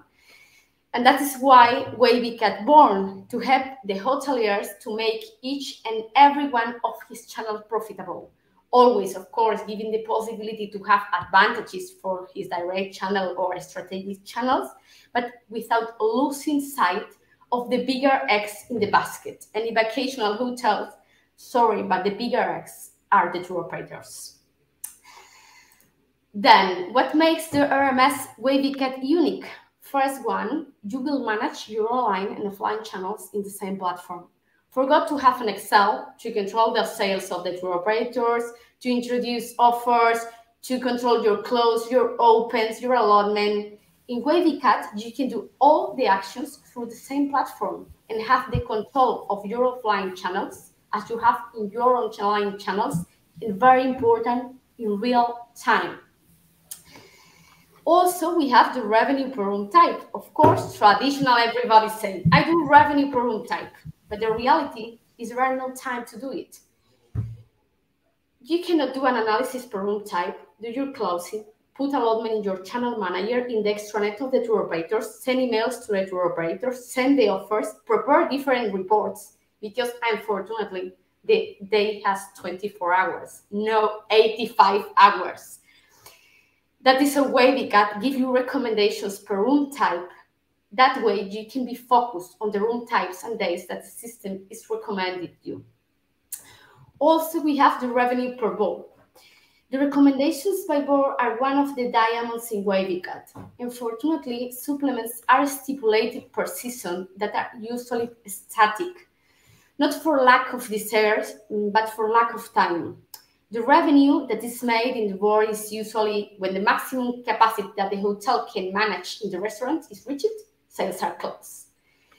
But what if we could receive recommendations for each day for the different boards and only increase or decrease what really really sells or not sells? It seems very simple, but how many of you do it dynamically? But of course, I'm not talking about different supplements per season. Please, I'm talking about doing revenue in the board. And the next one, I think one of my favorites one is revenue per person. For me, the philosopher's stone of the hotels is here. Making revenue per person is what has traditionally been done in hotels, but always statically, not dynamically. Imagine manage your discounts and supplements per person by multiple factors travel window, booking window, occupancy of the hotel, occupancy of the board, occupancy of the room type, different um, mm, different for different channels and everything automatically. The growth of your revenue can be unbelievable, I promise you. And the last one, but of course, my favorite one is the automati- the automation. The word good word. We boast of using it, but if we do a survey, how many hoteliers automate all the process that allow them to automate the machines and leave the main task of them to humans, the task of people is not to chop data, is guide the machines, set the goals, define the strategy, and monitor its scope. Automating all processes is feasible, and the question is, why don't we do it? Because normally we have to buy 5, 10, or 12 tools to cover all your needs. And at the management and cost level, it gets out of hand. What would happen if I told you that in WavyCut you can automate absolutely everything you want to do it with your price, prices, with your allotment, with your clothes, with your minimum length of stay per channel, per rate, per board, per room type, for each moment of sale and each time of purchase is one of the stars of WavyCut and what our customer like the most. But for me, there are one key factor in, in WavyCut that makes everything possible. Our team. At Wavisa, all the commercial team and some of the uh, engineering comes from vacational hotels. We understand your needs because we have experienced them, and no one can make hits better than a woman who hears them every day. I would like to say you thank you very much. Look, I have problems with my presentation. Here is my contact. And then thank you very much.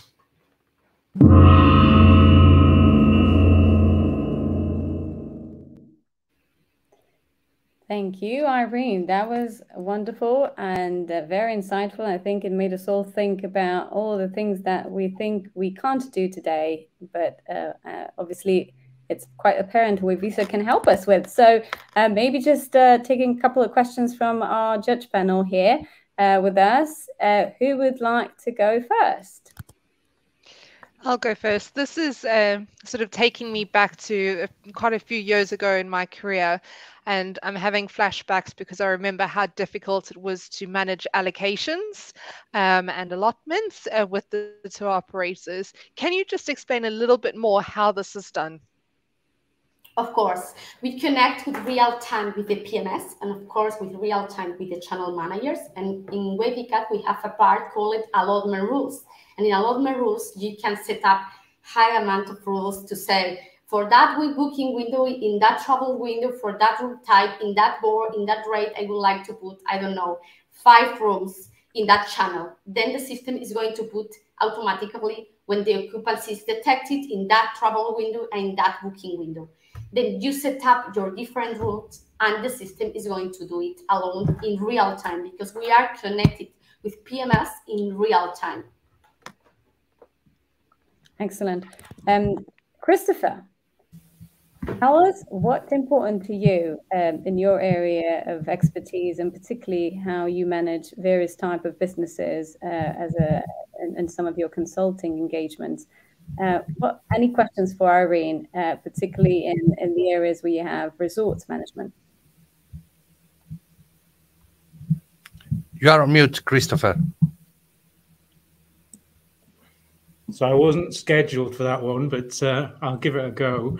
No, I think it's um, I think it's similar around managing allocations, etc., and, and how we optimize our distribution without limiting it as much as we can. Um, often leaving inventory in partners with partners who aren't going to use it and you get it back very late on. So I think the the ability to distribute that allocation more in a more balanced approach, I think makes good sense. Excellent. And the last question, perhaps we could go over to Danielle. Any question from your side, Danielle?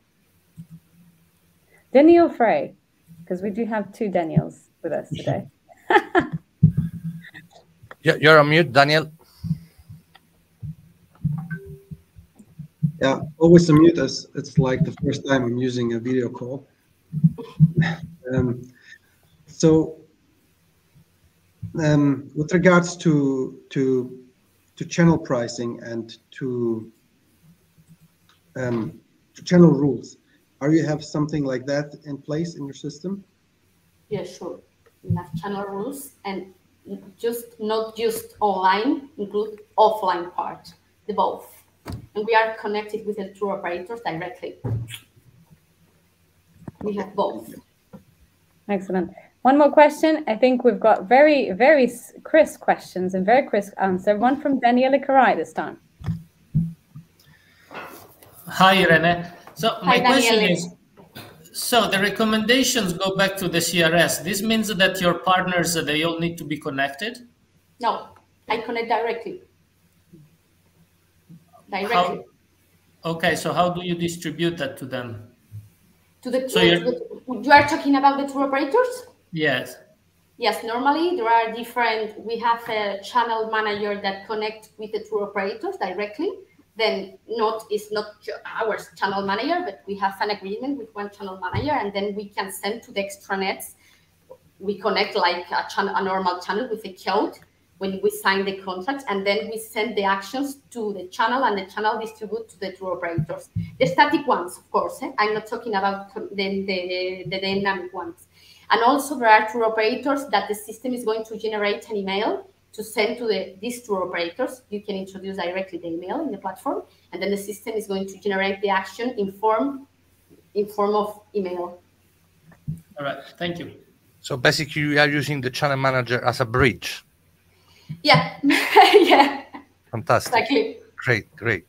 All right, thanks, Irene. So we are thank almost you. at the end, guys. Uh, thank you, Irene, for joining us, and uh, let's welcome the last uh, the last speech, which is going to be very interesting because finally we are going to understand more about how to yield tables at restaurants. Thank you, Irene. Bye. Thank you. Bye bye.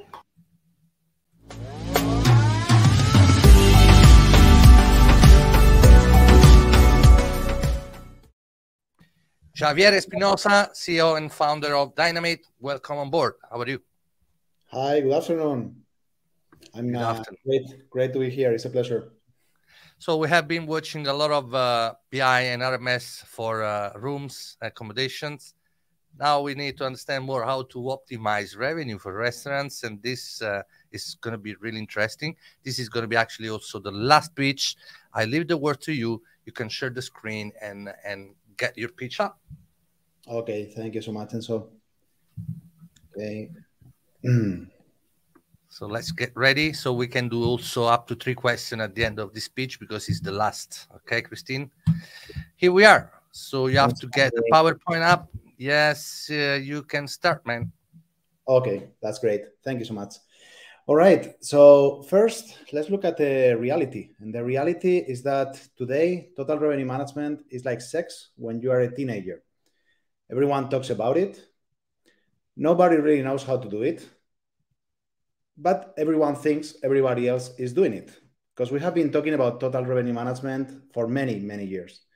But today, the reality is that 70% of total revenue management by a hotel is coming from rooms. And there are many, many uh, platforms and uh, a lot of technologies and, and, and vendors and, uh, that actually uh, utilize their, their technology and their algorithms in the best way in order to optimize uh, this uh, room revenue uh, space, uh, such as uh, some examples are, of course, Duetto, Beyond Price, IDeaS, Atomize. Some of them, we have been listening to them during this afternoon session, and they are using cutting-edge technology that basically has, you know, no competition. Uh, but the remaining 30% of revenue that is called, uh, or that we uh, like to call as other revenue, uh, because it's everything that has nothing to do uh, with rooms in the hotel industry, has no or poor technology to support a proper optimization and has not have it, you know, in the last years, even though we have been talking about total revenue management. Uh, so what we do in Dynamit is we optimize other revenue to apply a total revenue management strategy for hotels starting with F&B, so starting with the restaurant space. Applying in particular two uh, levers. One, dynamic pricing, and second, smart menus. Uh, dynamic pricing is basically about uh, adapting the price of every dish uh, depending on the demand level in order to improve uh, profitability and product mix. And smart menus is all about adapting your digital menu at the restaurant, personalizing and making it dependent also on the demand level and of the and on the type of customer that you have in your uh, restaurant or in your F&B outlet. Again, in order for customers to purchase what is most important uh, for the restaurant to be sold. Uh, now, we have a clear product roadmap where we want to include in our platform uh, breakfast optimization, optimizing pricing for breakfast and dynamizing pricing for breakfast is crucial for hotels. The same for room service, where it comes as well to personalizing uh, the offer that we have in every room, depending on the customer and depending on the demand level. And then, and then also for restaurants, uh, we want to work on the delivery platforms. We want to optimize the delivery uh, channel, uh, focusing on uh, restaurants. But really, what we are doing today, uh, what we offer to those restaurants and hotels that are using our platforms, we offer an increase of 10 to 15% in profitability using our platform. And this has been tested, and it's what we are getting in the customers that have been using our platforms in the past uh, approximately year and a half. Uh, this is an example from one premium outlet uh, located in the city center of Madrid. After just uh, nine months uh, using uh, Dynamit, they went from a contribution margin per customer of 11.7 euros up to a contribution margin per customer of 18 euros, of course, without impacting the demand at all of the restaurant. So this is pure uh, benefit and pure contribution margin going straight to the bottom line. That's 44K just thanks to the implementation of Dynamit in just nine months, which is, of course, huge. Who is working with us today? Uh, who are our customers? Uh, we are proud to say that in the hotel space, we are working with Radisson Hotels, we are working uh, with uh, Palladium. Uh, we are working uh, with the Smart Rental uh, group with over uh, 10 properties. then on the restaurant space, we are working with La Rumba Group, with Grupo La La La. They are both they are both based in in, in Spain, big restaurant groups, and then with Grupo Arzabal, which was our first customer back in 2020. but these are just some, some examples and the best uh, the best ones that can talk about uh, what Dynamit is and what it can bring to them is basically our customers and industry leaders. Uh, Gianni Di Fede, Senior Vice President of Revenue Management, BI, and Distribution for Radisson, uh, says being able to control and centralize our F&B pricing thanks to a platform like Dynamit is a very important leap for us. Fernando Vives, Chief Commercial Officer of Ace Hotel Group, the customer is ready. We need to counterfight inflation and incremental cost. Dynamic pricing is the smartest solution. And then, of course, Uh, we couldn't uh, avoid, you know, including some uh, testimonials from what was our first customer and the first believer on, uh, on dynamic pricing uh, for F&B outlets for us, which is Nacho Adorna, the CEO of Grupo Arzabal, which mentioned that their profitability had grown by 30% thanks to the implementation of our platform. And the best news is you can try for free. Um, our platform is available for a free pilot but only for the doers. Uh, if you want to try our platform uh, for free during the first month, uh, you have to confirm your interest uh, before uh, the 15th of December. Thank you so much uh, for your time and for the invite, of course.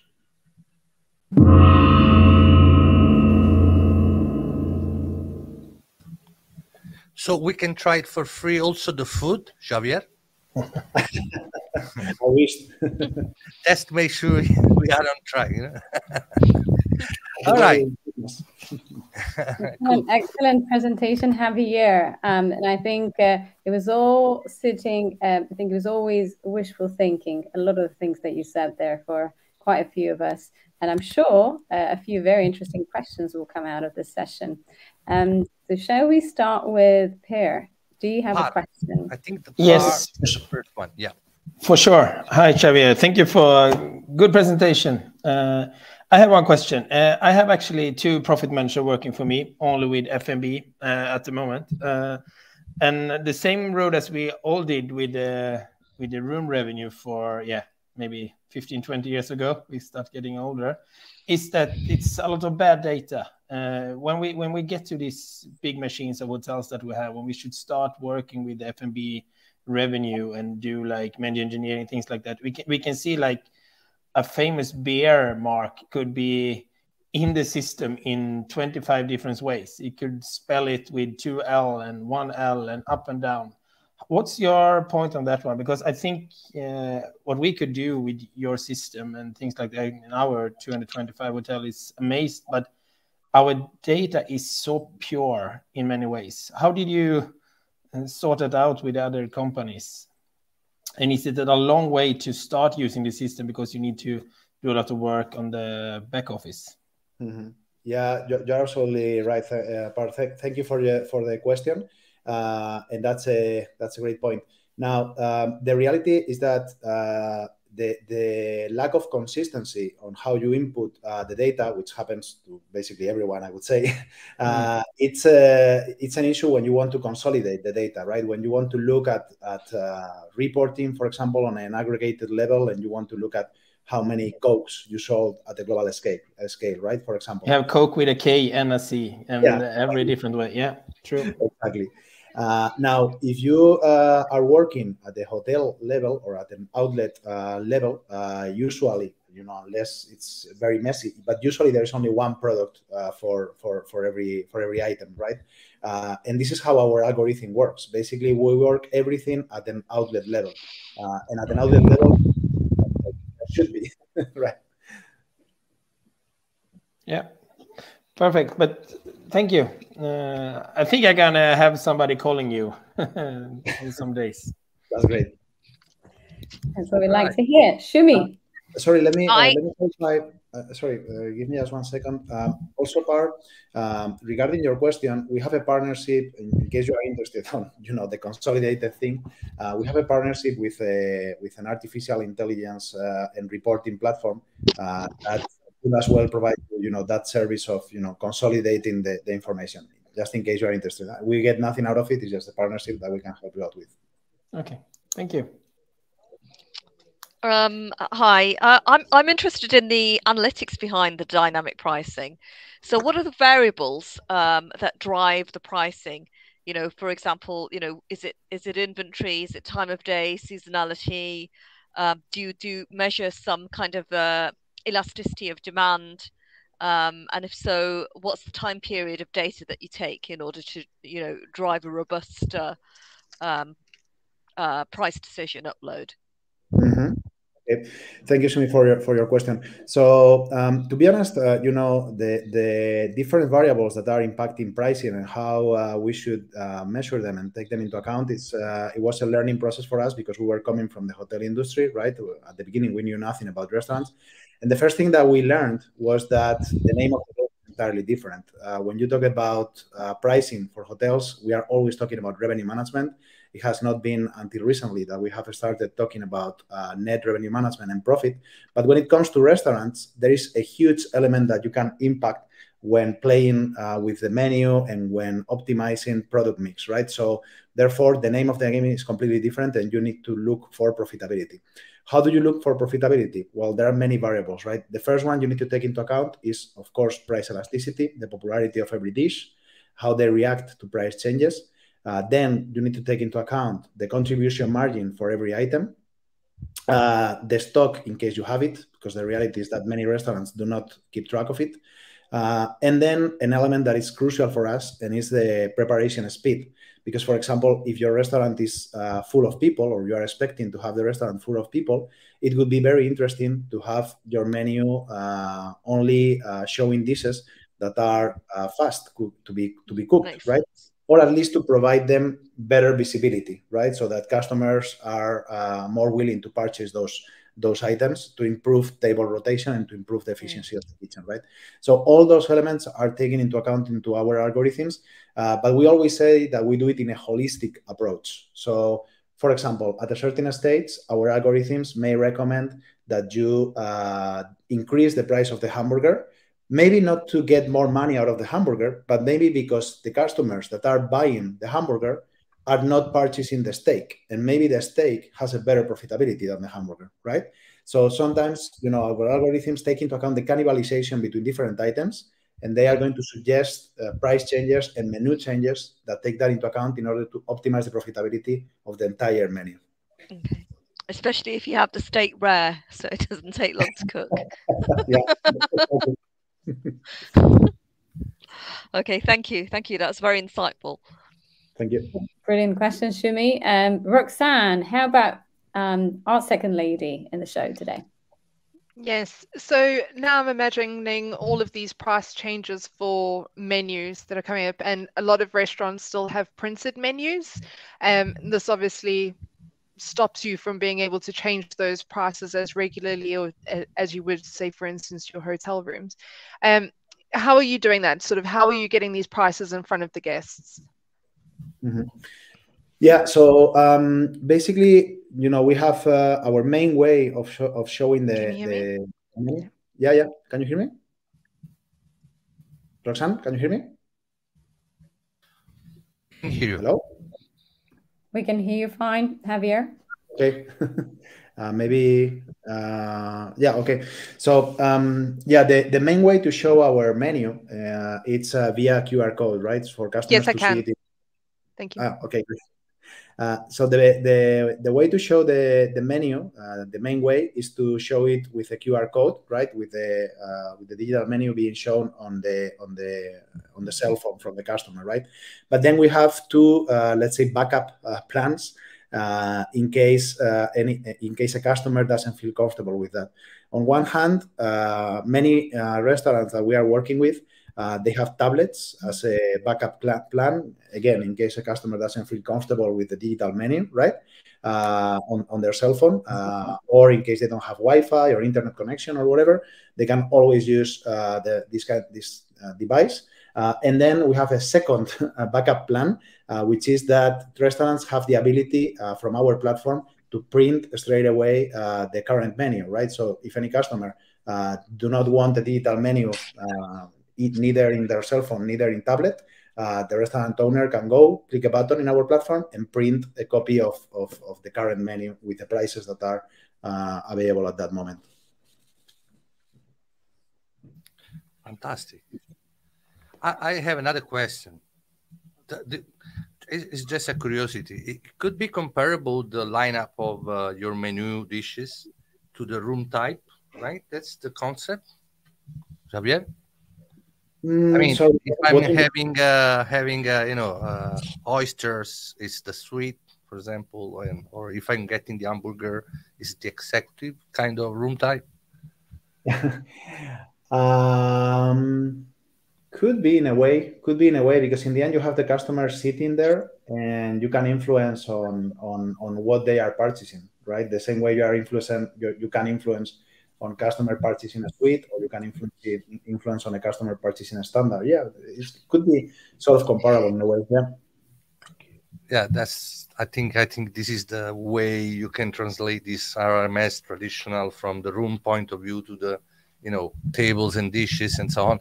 Anyway, I was able to have a proper demo of your platform from uh, one of your uh, team member, Alessio, and really impressed me. The the tool was really interesting. So if anyone interested in restaurant uh, revenue maximization, I strongly suggest guys to get in touch with Javier and uh, and request a demo, and then uh, find out if the free trial is also available for the food cost, right? okay, thank you, Javier. Really glad to have you here today, and uh, I hope to see you again soon. Thank you. Yeah. Thank you, guys. Bye. Bye. Bye. Bye. All right, so we are at the end. Let's take on board Federica. We're here, Chris, um, Christina, Diego. It's done, eh, guys? Two hours? Yeah. yeah, two Okay, hours. just 10, 15 minutes delayed, but uh, considering that all the products we saw was very interesting, we had some more extra questions, I think was fair. Uh, just a quick round and uh, feedback from uh, the judges, starting from Daniel. What was your experience? Daniel Frey. So I think really great way to present companies and to get the core of each presentation. Very, very sharp approach. So I really like it. Thank you very much for being part of this group. Thank you. Thank you. What about you, Roxanne? What was your uh, experience? Roxanne? I think I think she might be having a bit of a. I, I don't know if my sound is lagging a bit, but um, yeah. No, no, we understand it's the end of the day. Maybe you was relaxing a little bit. so what was your experience? I think you have some connectivity issue probably. I see you frozen again. Maybe we can move to the next, Daniele. Sure. Uh, I, I, think overall it was all very interesting. Uh, I think that uh, you can definitely see what the new trends that they are coming up. Everyone really focusing on net profits and no more on the top line, which I think this was uh, really the, the new thing about the pandemic, where everyone was really trying to to scratch the bottom of the barrel and try to get the most out of uh, the, the, the few bookings that we had for a while.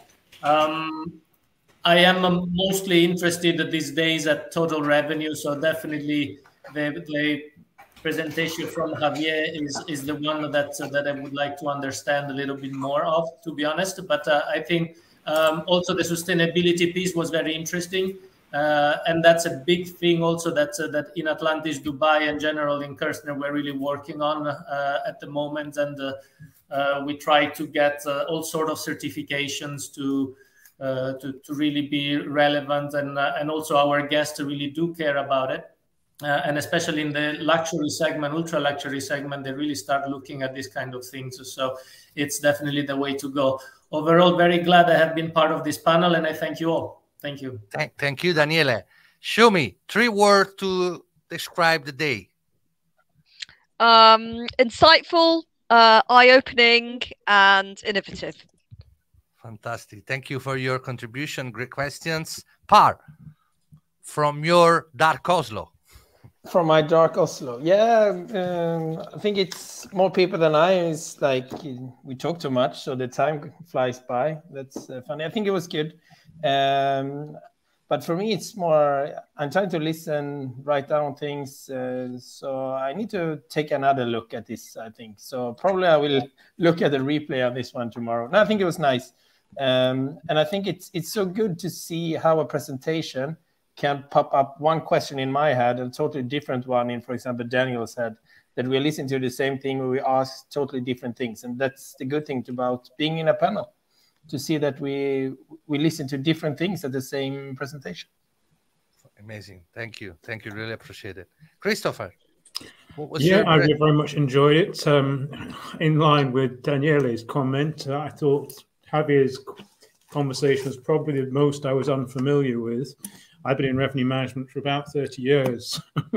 I've kind of come across these systems quite a lot, but um, no, I thought it was very useful unfortunately, there wasn't enough time for us all really to ask our questions, but there's no reason why we can't follow up directly with the salespeople or the operators, the owners. So thank you. Thank you for your. Mr. Ferrari, nice to see you after all these years. Yeah, thank you. all right, so I thank you all the judge. Uh, really appreciate it. You can go and now relax and find out if you want to get in touch with those company, get a demo, free demo, free presentation, get deeper on uh, on uh, find out more. Thank you again. Really appreciate it. Thank you, guys. Thank you. Bye. Thank you very much. Bye-bye. Bye. Bye. Bye. Bye. Goodbye, all.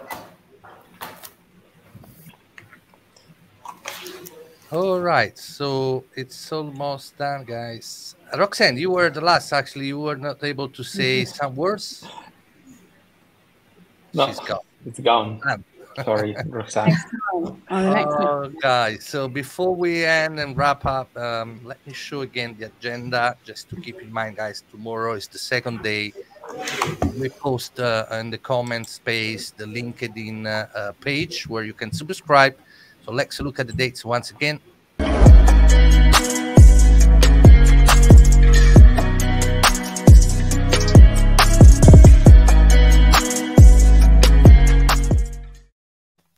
16 tomorrow, then 22nd is going to be for uh, the um, that booking, 23rd operational and sustainability.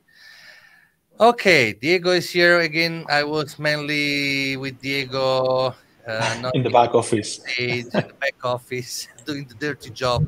I I hope that Christina and Federica enjoyed. Christina, what was your experience?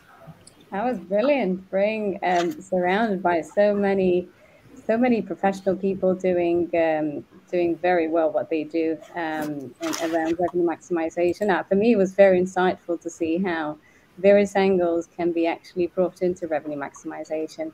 You know, from operational asset management standpoint to more of the F&B and so revenue optimization, sustainability, such a key area. So that's really a, a pleasure to collaborate with all these um, great uh, tech innovators, as well as really thank our judges because ultimately we do this for um, for the hoteliers that are watching us, and we really want to be able to connect them with the latest innovation to help their uh, their lives and, and, and their day-to-day operation. So thank you very much for having me.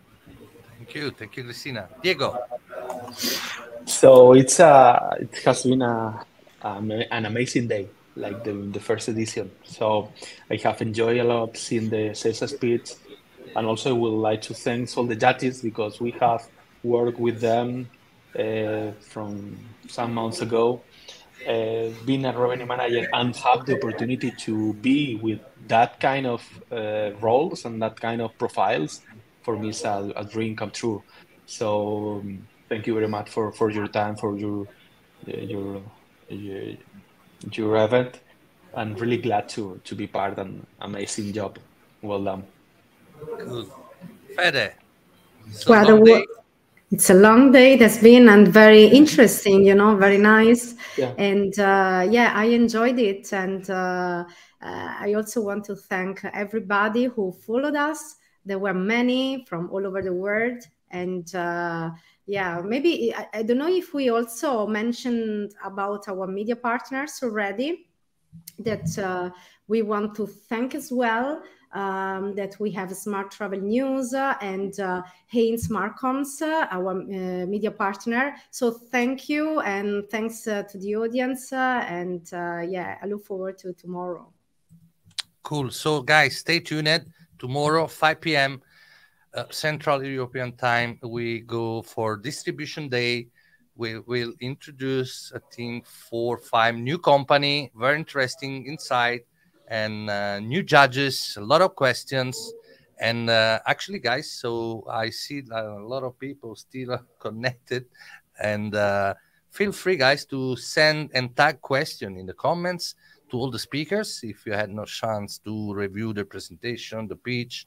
So again, you can tag them, you can contact them through LinkedIn. It's going to be easy, you know, just keep it up. All right. So looking forward for tomorrow. And I wish you all a great evening. And thanks again for staying with us. Bye. Thanks very much. Bye. Bye-bye. Bye. Bye. Thank you. Bye.